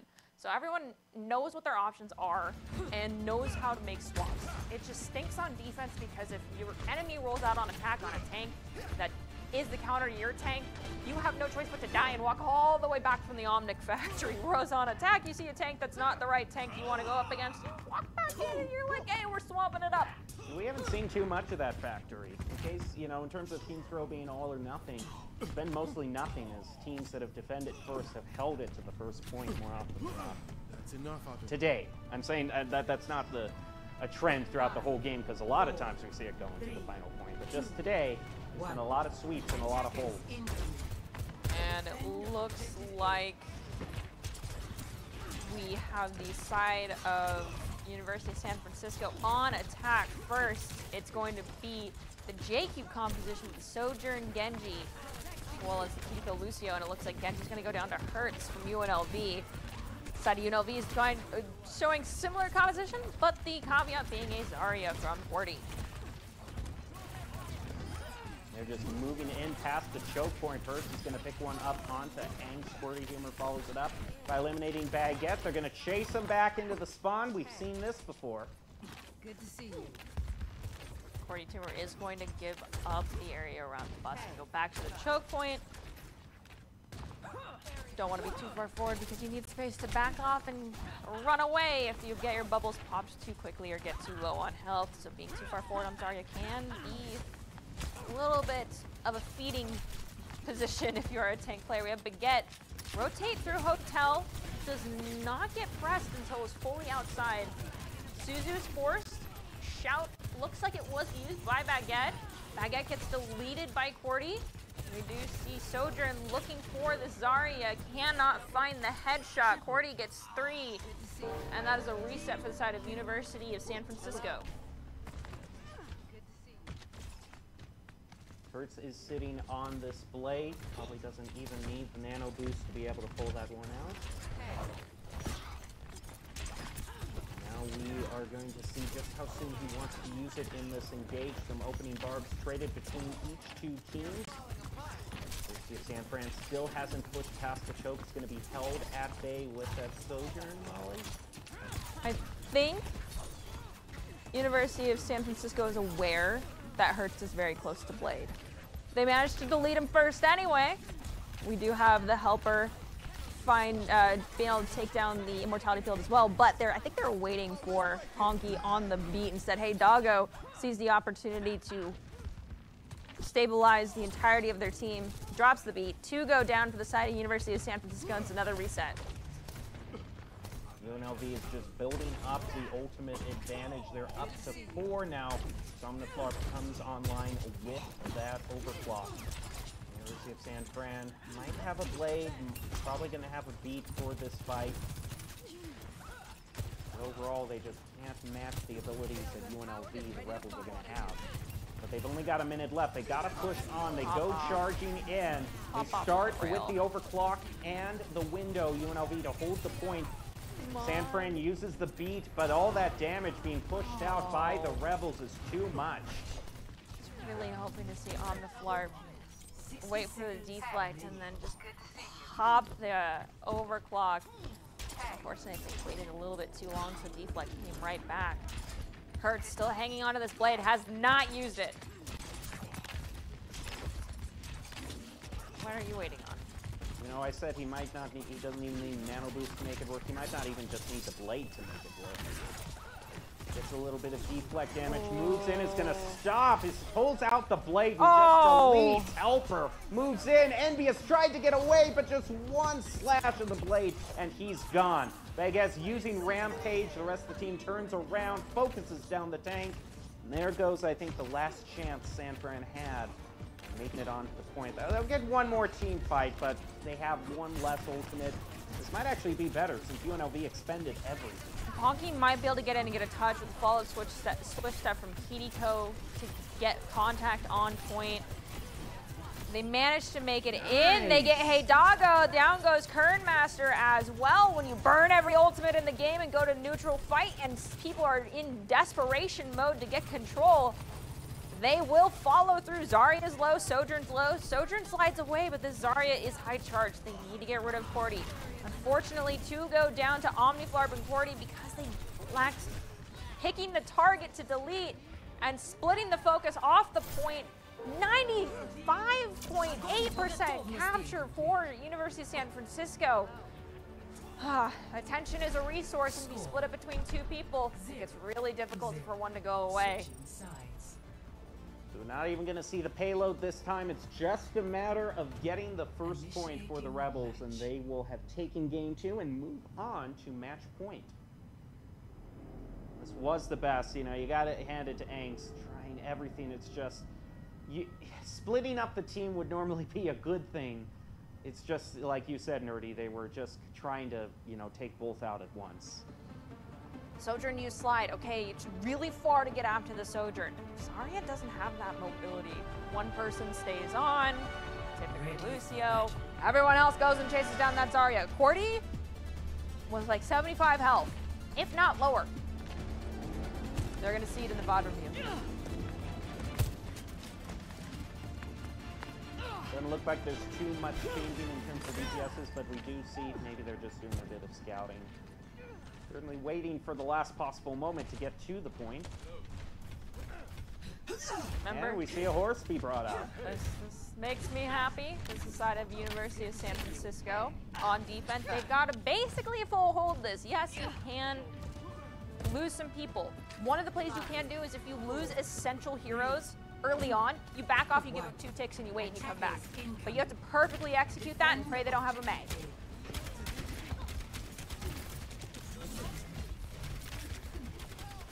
UNLV doesn't have a May. Instead, looks like Birdie is going to be going on to the Doom yet again, and Antine is going to hit two from University of San Fran, and Ponky falls soon, soon afterwards. Angst also sustaining a lot of damage. Antine goes on to NBS. They still manage to survive. QWERTY is eliminated with the tank on. Angst can take out the back line of UNLV. Kern is going to fall, and Omniflarp also falls. Yes, Baguette! Just one left on the point. It's Hertz, and now the tank is here, forcing you off. Oh, but the respawn's coming from the Rebels. The immortality, well, the, the ante onto the horse. Only Orisa had lived a little bit longer. This retake might be easier. And it looks like UNLV is going to walk away with a 1 0 on King's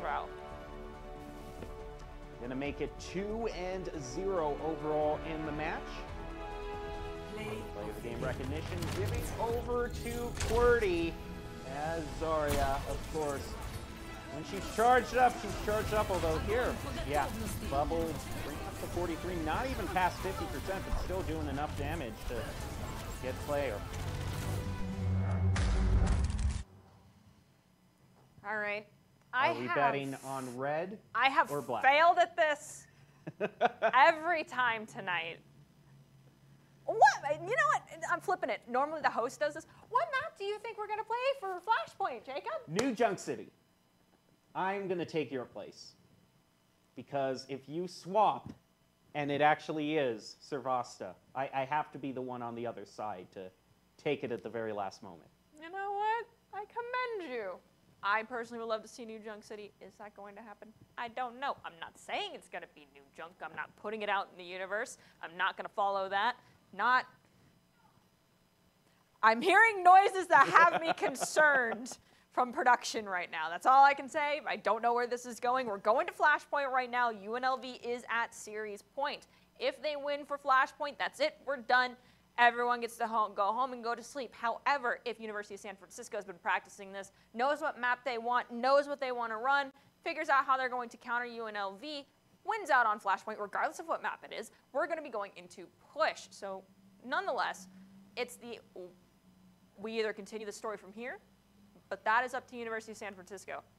If not, UNLV walks away with a victory on Flashpoint, and everyone from NACE, we can go, you know, lights out, hydrate, get some sleep, do your homework, and we'll see you again next week. But we'll have to wait and see. Of course, and there's just, I, I hear laughing, I hear possibly sounds of pain from production. Which could go two ways. I know, because it's like, are they on our side right now and are fine with going to New Junk City? Or, I don't know. I really don't know. Is the pain from having to see Suravasa again? Is the pain from having to see New? It's going to go either way. These people have toyed with us so much when it comes to second map that I just can't trust anything beyond control points. I get it, but hmm, I don't know.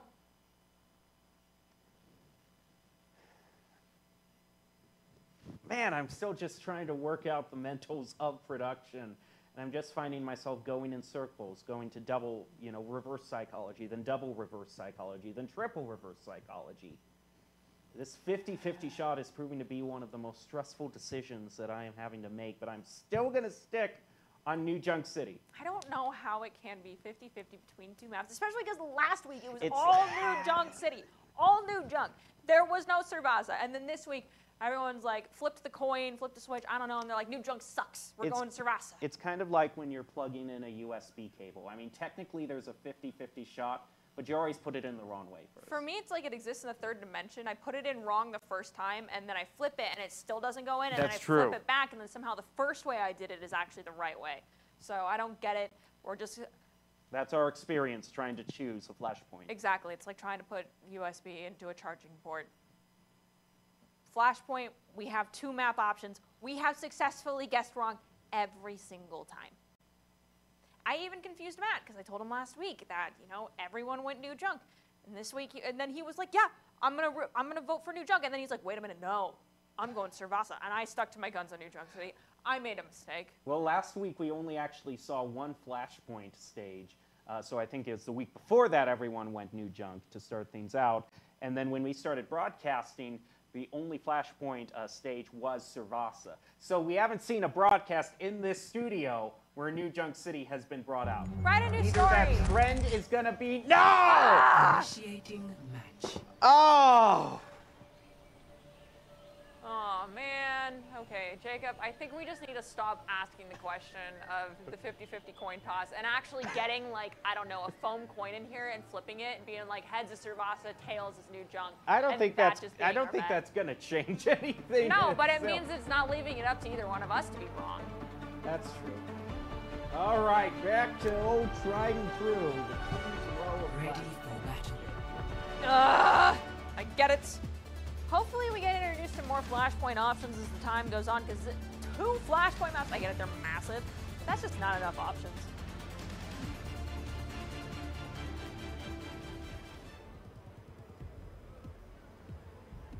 We don't really have to speculate, though.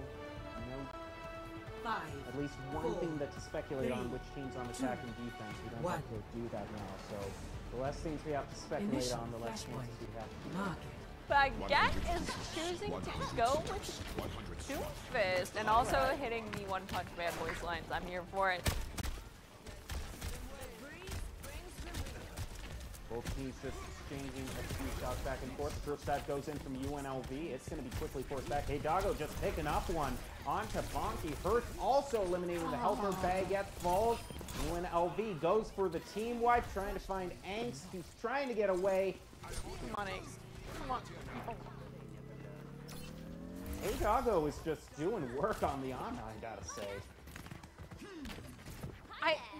I mean, she's no Rid- Widowmaker, but the way Angst is playing, you would think so. Anna is both powerful, but she in herself is like a glass cannon. And you become the glass cannon when you position too far forward. You don't have line of sight on your exit.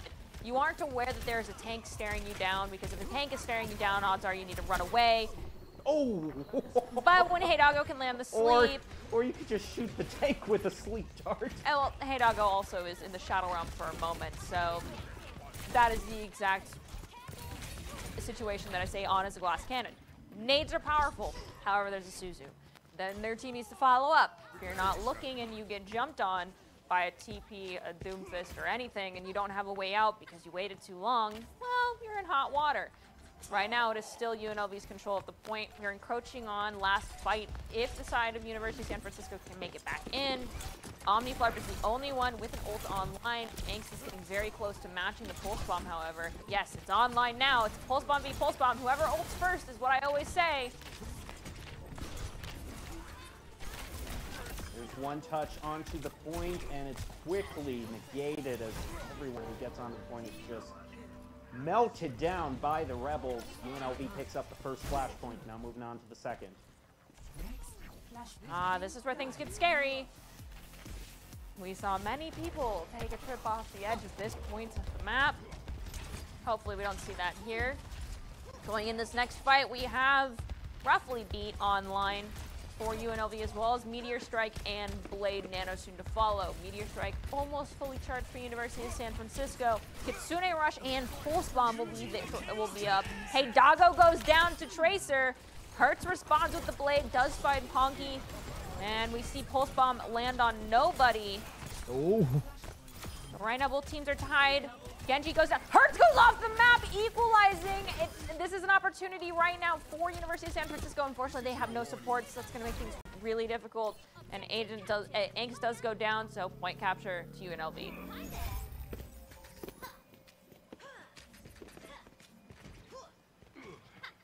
Thing is, for the Dons, they're a little bit more offensively positioned. They at least have the engage with the Kitsune Rush. They also got a Meteor Strike. Question is, when will you ever UNLV play that beat so they can help negate that damage? Most likely in response is Kitsune Oh, Rush and losing yeah. your Ana.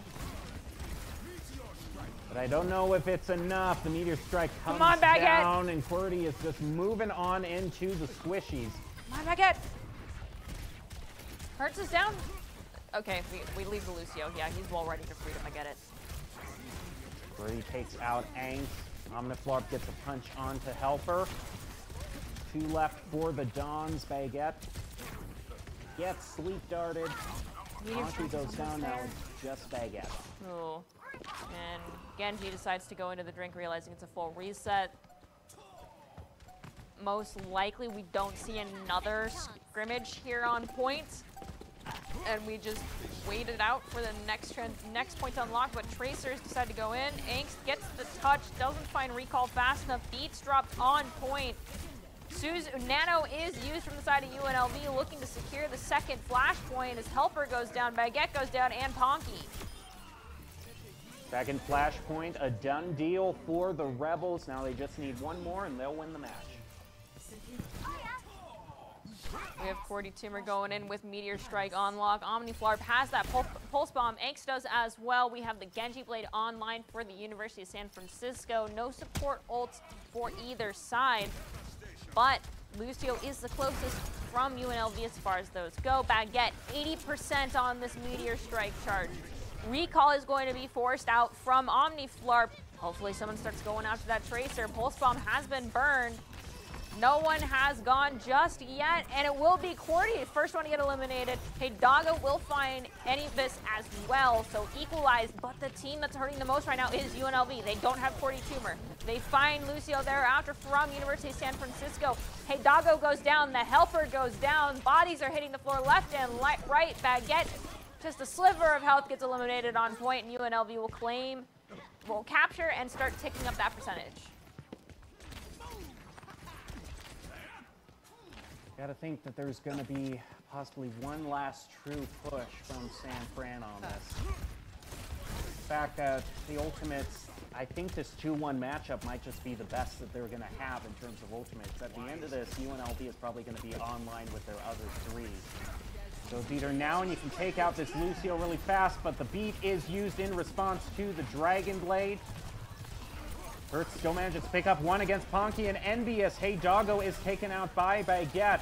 But UNLV is making the elimination stack up. There's just two left, and Baguette is very low on health. Angst also taking a chunk of damage. Birdie moving in to gain space on the point. UNLV has one fight left, or if they can drag this one out, they'll just cruise right on into victory. In these situations where I have believed University of San Francisco would not get the opportunity to make contact at the point, they prove me wrong every time. Here they come. They've claimed it, pushing into the enemy Whoa. territory. Kitsune rushing into the back line, leaving one on, saying, you get the cab, they get the flip. Percentages going up in their favor. They do lose their Lucio, but they find Hey Doggo. This is their opportunity to rally back. Unfortunately, they have lost their Kiriko as well. The back line's getting traded. And it looks like now is an opportunity for the rest of UNLV to come back in and start cleaning up what remains of University of San Francisco. Overtime clock ticks down, and that is going to do it for this match. The Rebels claim Another 3-0 sweep, so not quite the competitive match that we saw in the Open Division last week. UNLV is this end as soon as it can. Play of the game is going to be given over toward Hertz. On this Genji. Hobbs Blade finds the Lucio, finds Genji. Hey Doggo goes down, so that's another kill that needs to be secured, and it's Omniflarp can find it. With that, UNLV is our champions here for our last NACE game of the evening. It is the last NACE game, but the fun just doesn't end because we have an interview with one of the players coming up. So we are going to take a short break, get one of those players into our call, ask him about the last match, and then we'll close it out for the evening. But for now, stay tuned. We'll have an interview right after this. Birds get forced back with the spear spin and spear. Both cooldowns, all three cooldowns from Baguette have been used. Confirms the deletion of Team Master. Now, it does look like the poor, poor Bassi on their team is gone. Hey, Doggo gets deleted, and it looks like they just gave up too much. Taking on UNLV's mantle of being the embodiment of chaos, and it looks like Omniflarp is going to be taking the brunt end of this chaos. Does not go down, but Pon uh, Ponky, as well as Anibus, both go down as beat is dropped inside of UNLV. Oh man, Qwerty is able to find the back line, takes out. Through Hotel, does not get pressed until it's fully outside. Suzu is forced. Shout looks like it was used by Baguette. Baguette gets deleted by Qwerty.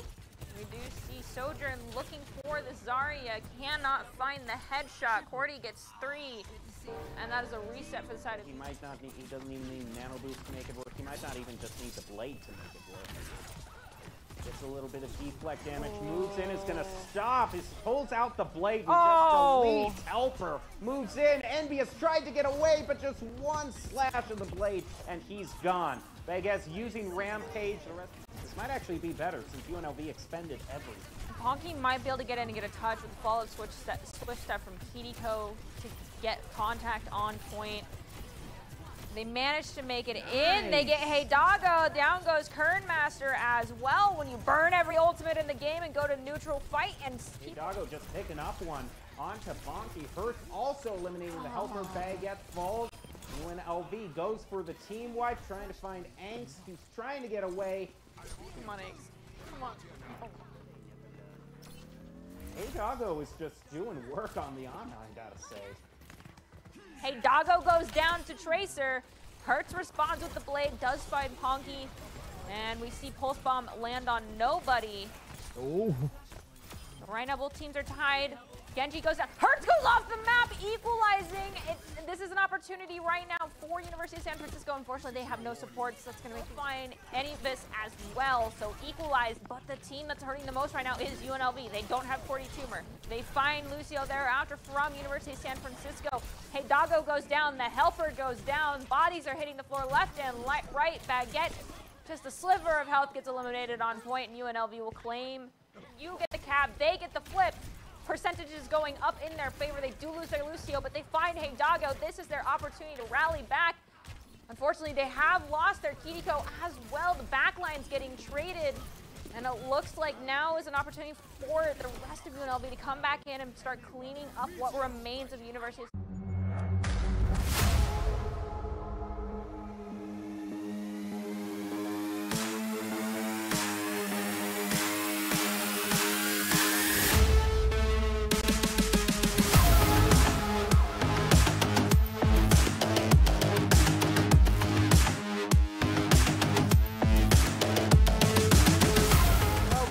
to the NACE Starleague studio. We are wrapping up all four of our matches that we have had today for Overwatch in both varsity and open divisions.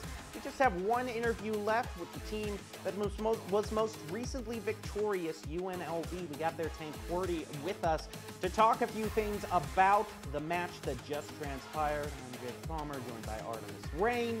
We have been talking a lot with players today. It's great to just kind of get to that feedback right after a game, and I'm sure we just want to jump in with the team. You also shouted out uh, with their with their uh, jersey. I'll bring that up just a little bit later. But right now, we'll see if we can't get Qwerty on into the studio and just talk a little bit about uh, what uh, what just an amazing sweep that they pulled off. I mean, the Doomfist pick is powerful. What else can you say? I mean, if you talk to some people, you'll be like, yes, Oh, here we go. Great. ta- oh my gosh. I think I think Nerdy approves of the background. I do. I do. 100%. Yes. Well, it's nice to have you uh, here with us, QWERTY. Um, I do believe actually there's an audio issue for us. We're just waiting to see if the speaker comes up so we can hear you. Hello? There, we we go. go. Thank Okay, you. okay. there you are. Okay. QWERTY, I, I'm going to ask you the first question, and I'm just going to, because you didn't have the choice of stage last uh, for Flashpoint, but if you had choice of stage for Flashpoint, what would you have chosen? Would you have gone Uh, with the same Suravasa? or We, would we would have we wouldn't have done New Junk City. We would have done the same one. Of course, of course. No, no one, no one likes New Junk. It's just, it's just. It- It's weird. For the first for the first week, it was all new junk, and then ever since we started broadcasting, everyone's just been going the other way. So Uh, it's, it's it, it's it's not a bad map, but it's just um, I think you have such a better time like with tighter angles and so much like point diversity on uh, Suravasa, where Junk City's just so open all the time. Okay, that's fair. So going away from Flashpoint, because this has been the bane of both of our evenings, we suck at guessing maps apparently. Uh, for Lijiang, second point, Night Market, you did not guess wrong on what tank you, I think at least, so what tank you thought University of San Francisco was going to roll out on. So my question is to you, were you anticipating Baguette to go Doomfist and therefore you decided, nah, I'm just going to come out on JQ and, you know, knife and axe the entire backline into oblivion? Uh, honestly, it sounds a little like bad, but I, we didn't really consider what they were doing. Um, I, if I'm allowed to play Doom Any Map, I'll play Doom Any Map. But we've been trying to get a little bit more incorporated on like the better meta characters and the better picks to like kind of roll through. And uh, we did a lot of practice with Junker Queen, and I know the meta's shifting a little bit right now. But uh, we just wanted to play what we were comfortable on and really just like show that we can get better and be a pretty dominant force nonetheless. All right, well, it's starting to get late in the night, so we'll get you out on this note. Nerdy earlier on gave a shout out uh, to uh, Hey Doggo. Uh, held up the jersey that we still have as a souvenir from UNLV. So, in the spirit of giving shout outs to people, is there anyone you want to give a shout out to? Um, I just shout out to everyone on the team. I think they did uh, phenomenal. Um, the fact that you guys have a Hey Doggo's jersey is really funny to me because he still has the Boise jersey. He holds it up. He's like, "Yeah, I'm, I'm for Boise," and we're like, "Why don't you support us?" You know. but uh, but it, it's still a, a fun little time, and just shout outs to everyone on the team who did great. All right, congrats on your win. Thank you for joining us. We'll let you get going. All right, and you so that is going Thank you. And that is going to do it for our broadcast. We want to give a thank you to everyone in production, all the players who have joined us. Course, thank you to you, all to you who are watching out there on Twitch and other streaming platforms right now. I also want to give a very special shout out to Truth, Extra Life, Duncan, Monster, and Odyssey Elixir for being our sponsors. That's going to do it for us tonight. But just to relive the glory one more time, we'll leave you with the top five plays of the game. So thank you for watching. We'll see you tomorrow with Valorant, and next week if you want to join us for more Overwatch 2. But for now, so long.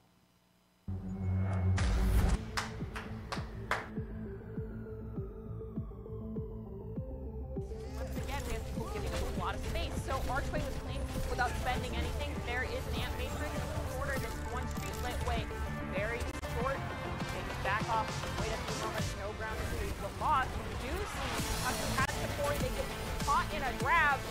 And the core ultimate Volt 4 comes through, taking on UNLV's mantle of being the embodiment of chaos. And it looks like Omniflarp is going to be taking the front end of this chaos. Does not go down. But Pon- uh, as well as any of both go down, he can drop UNLV.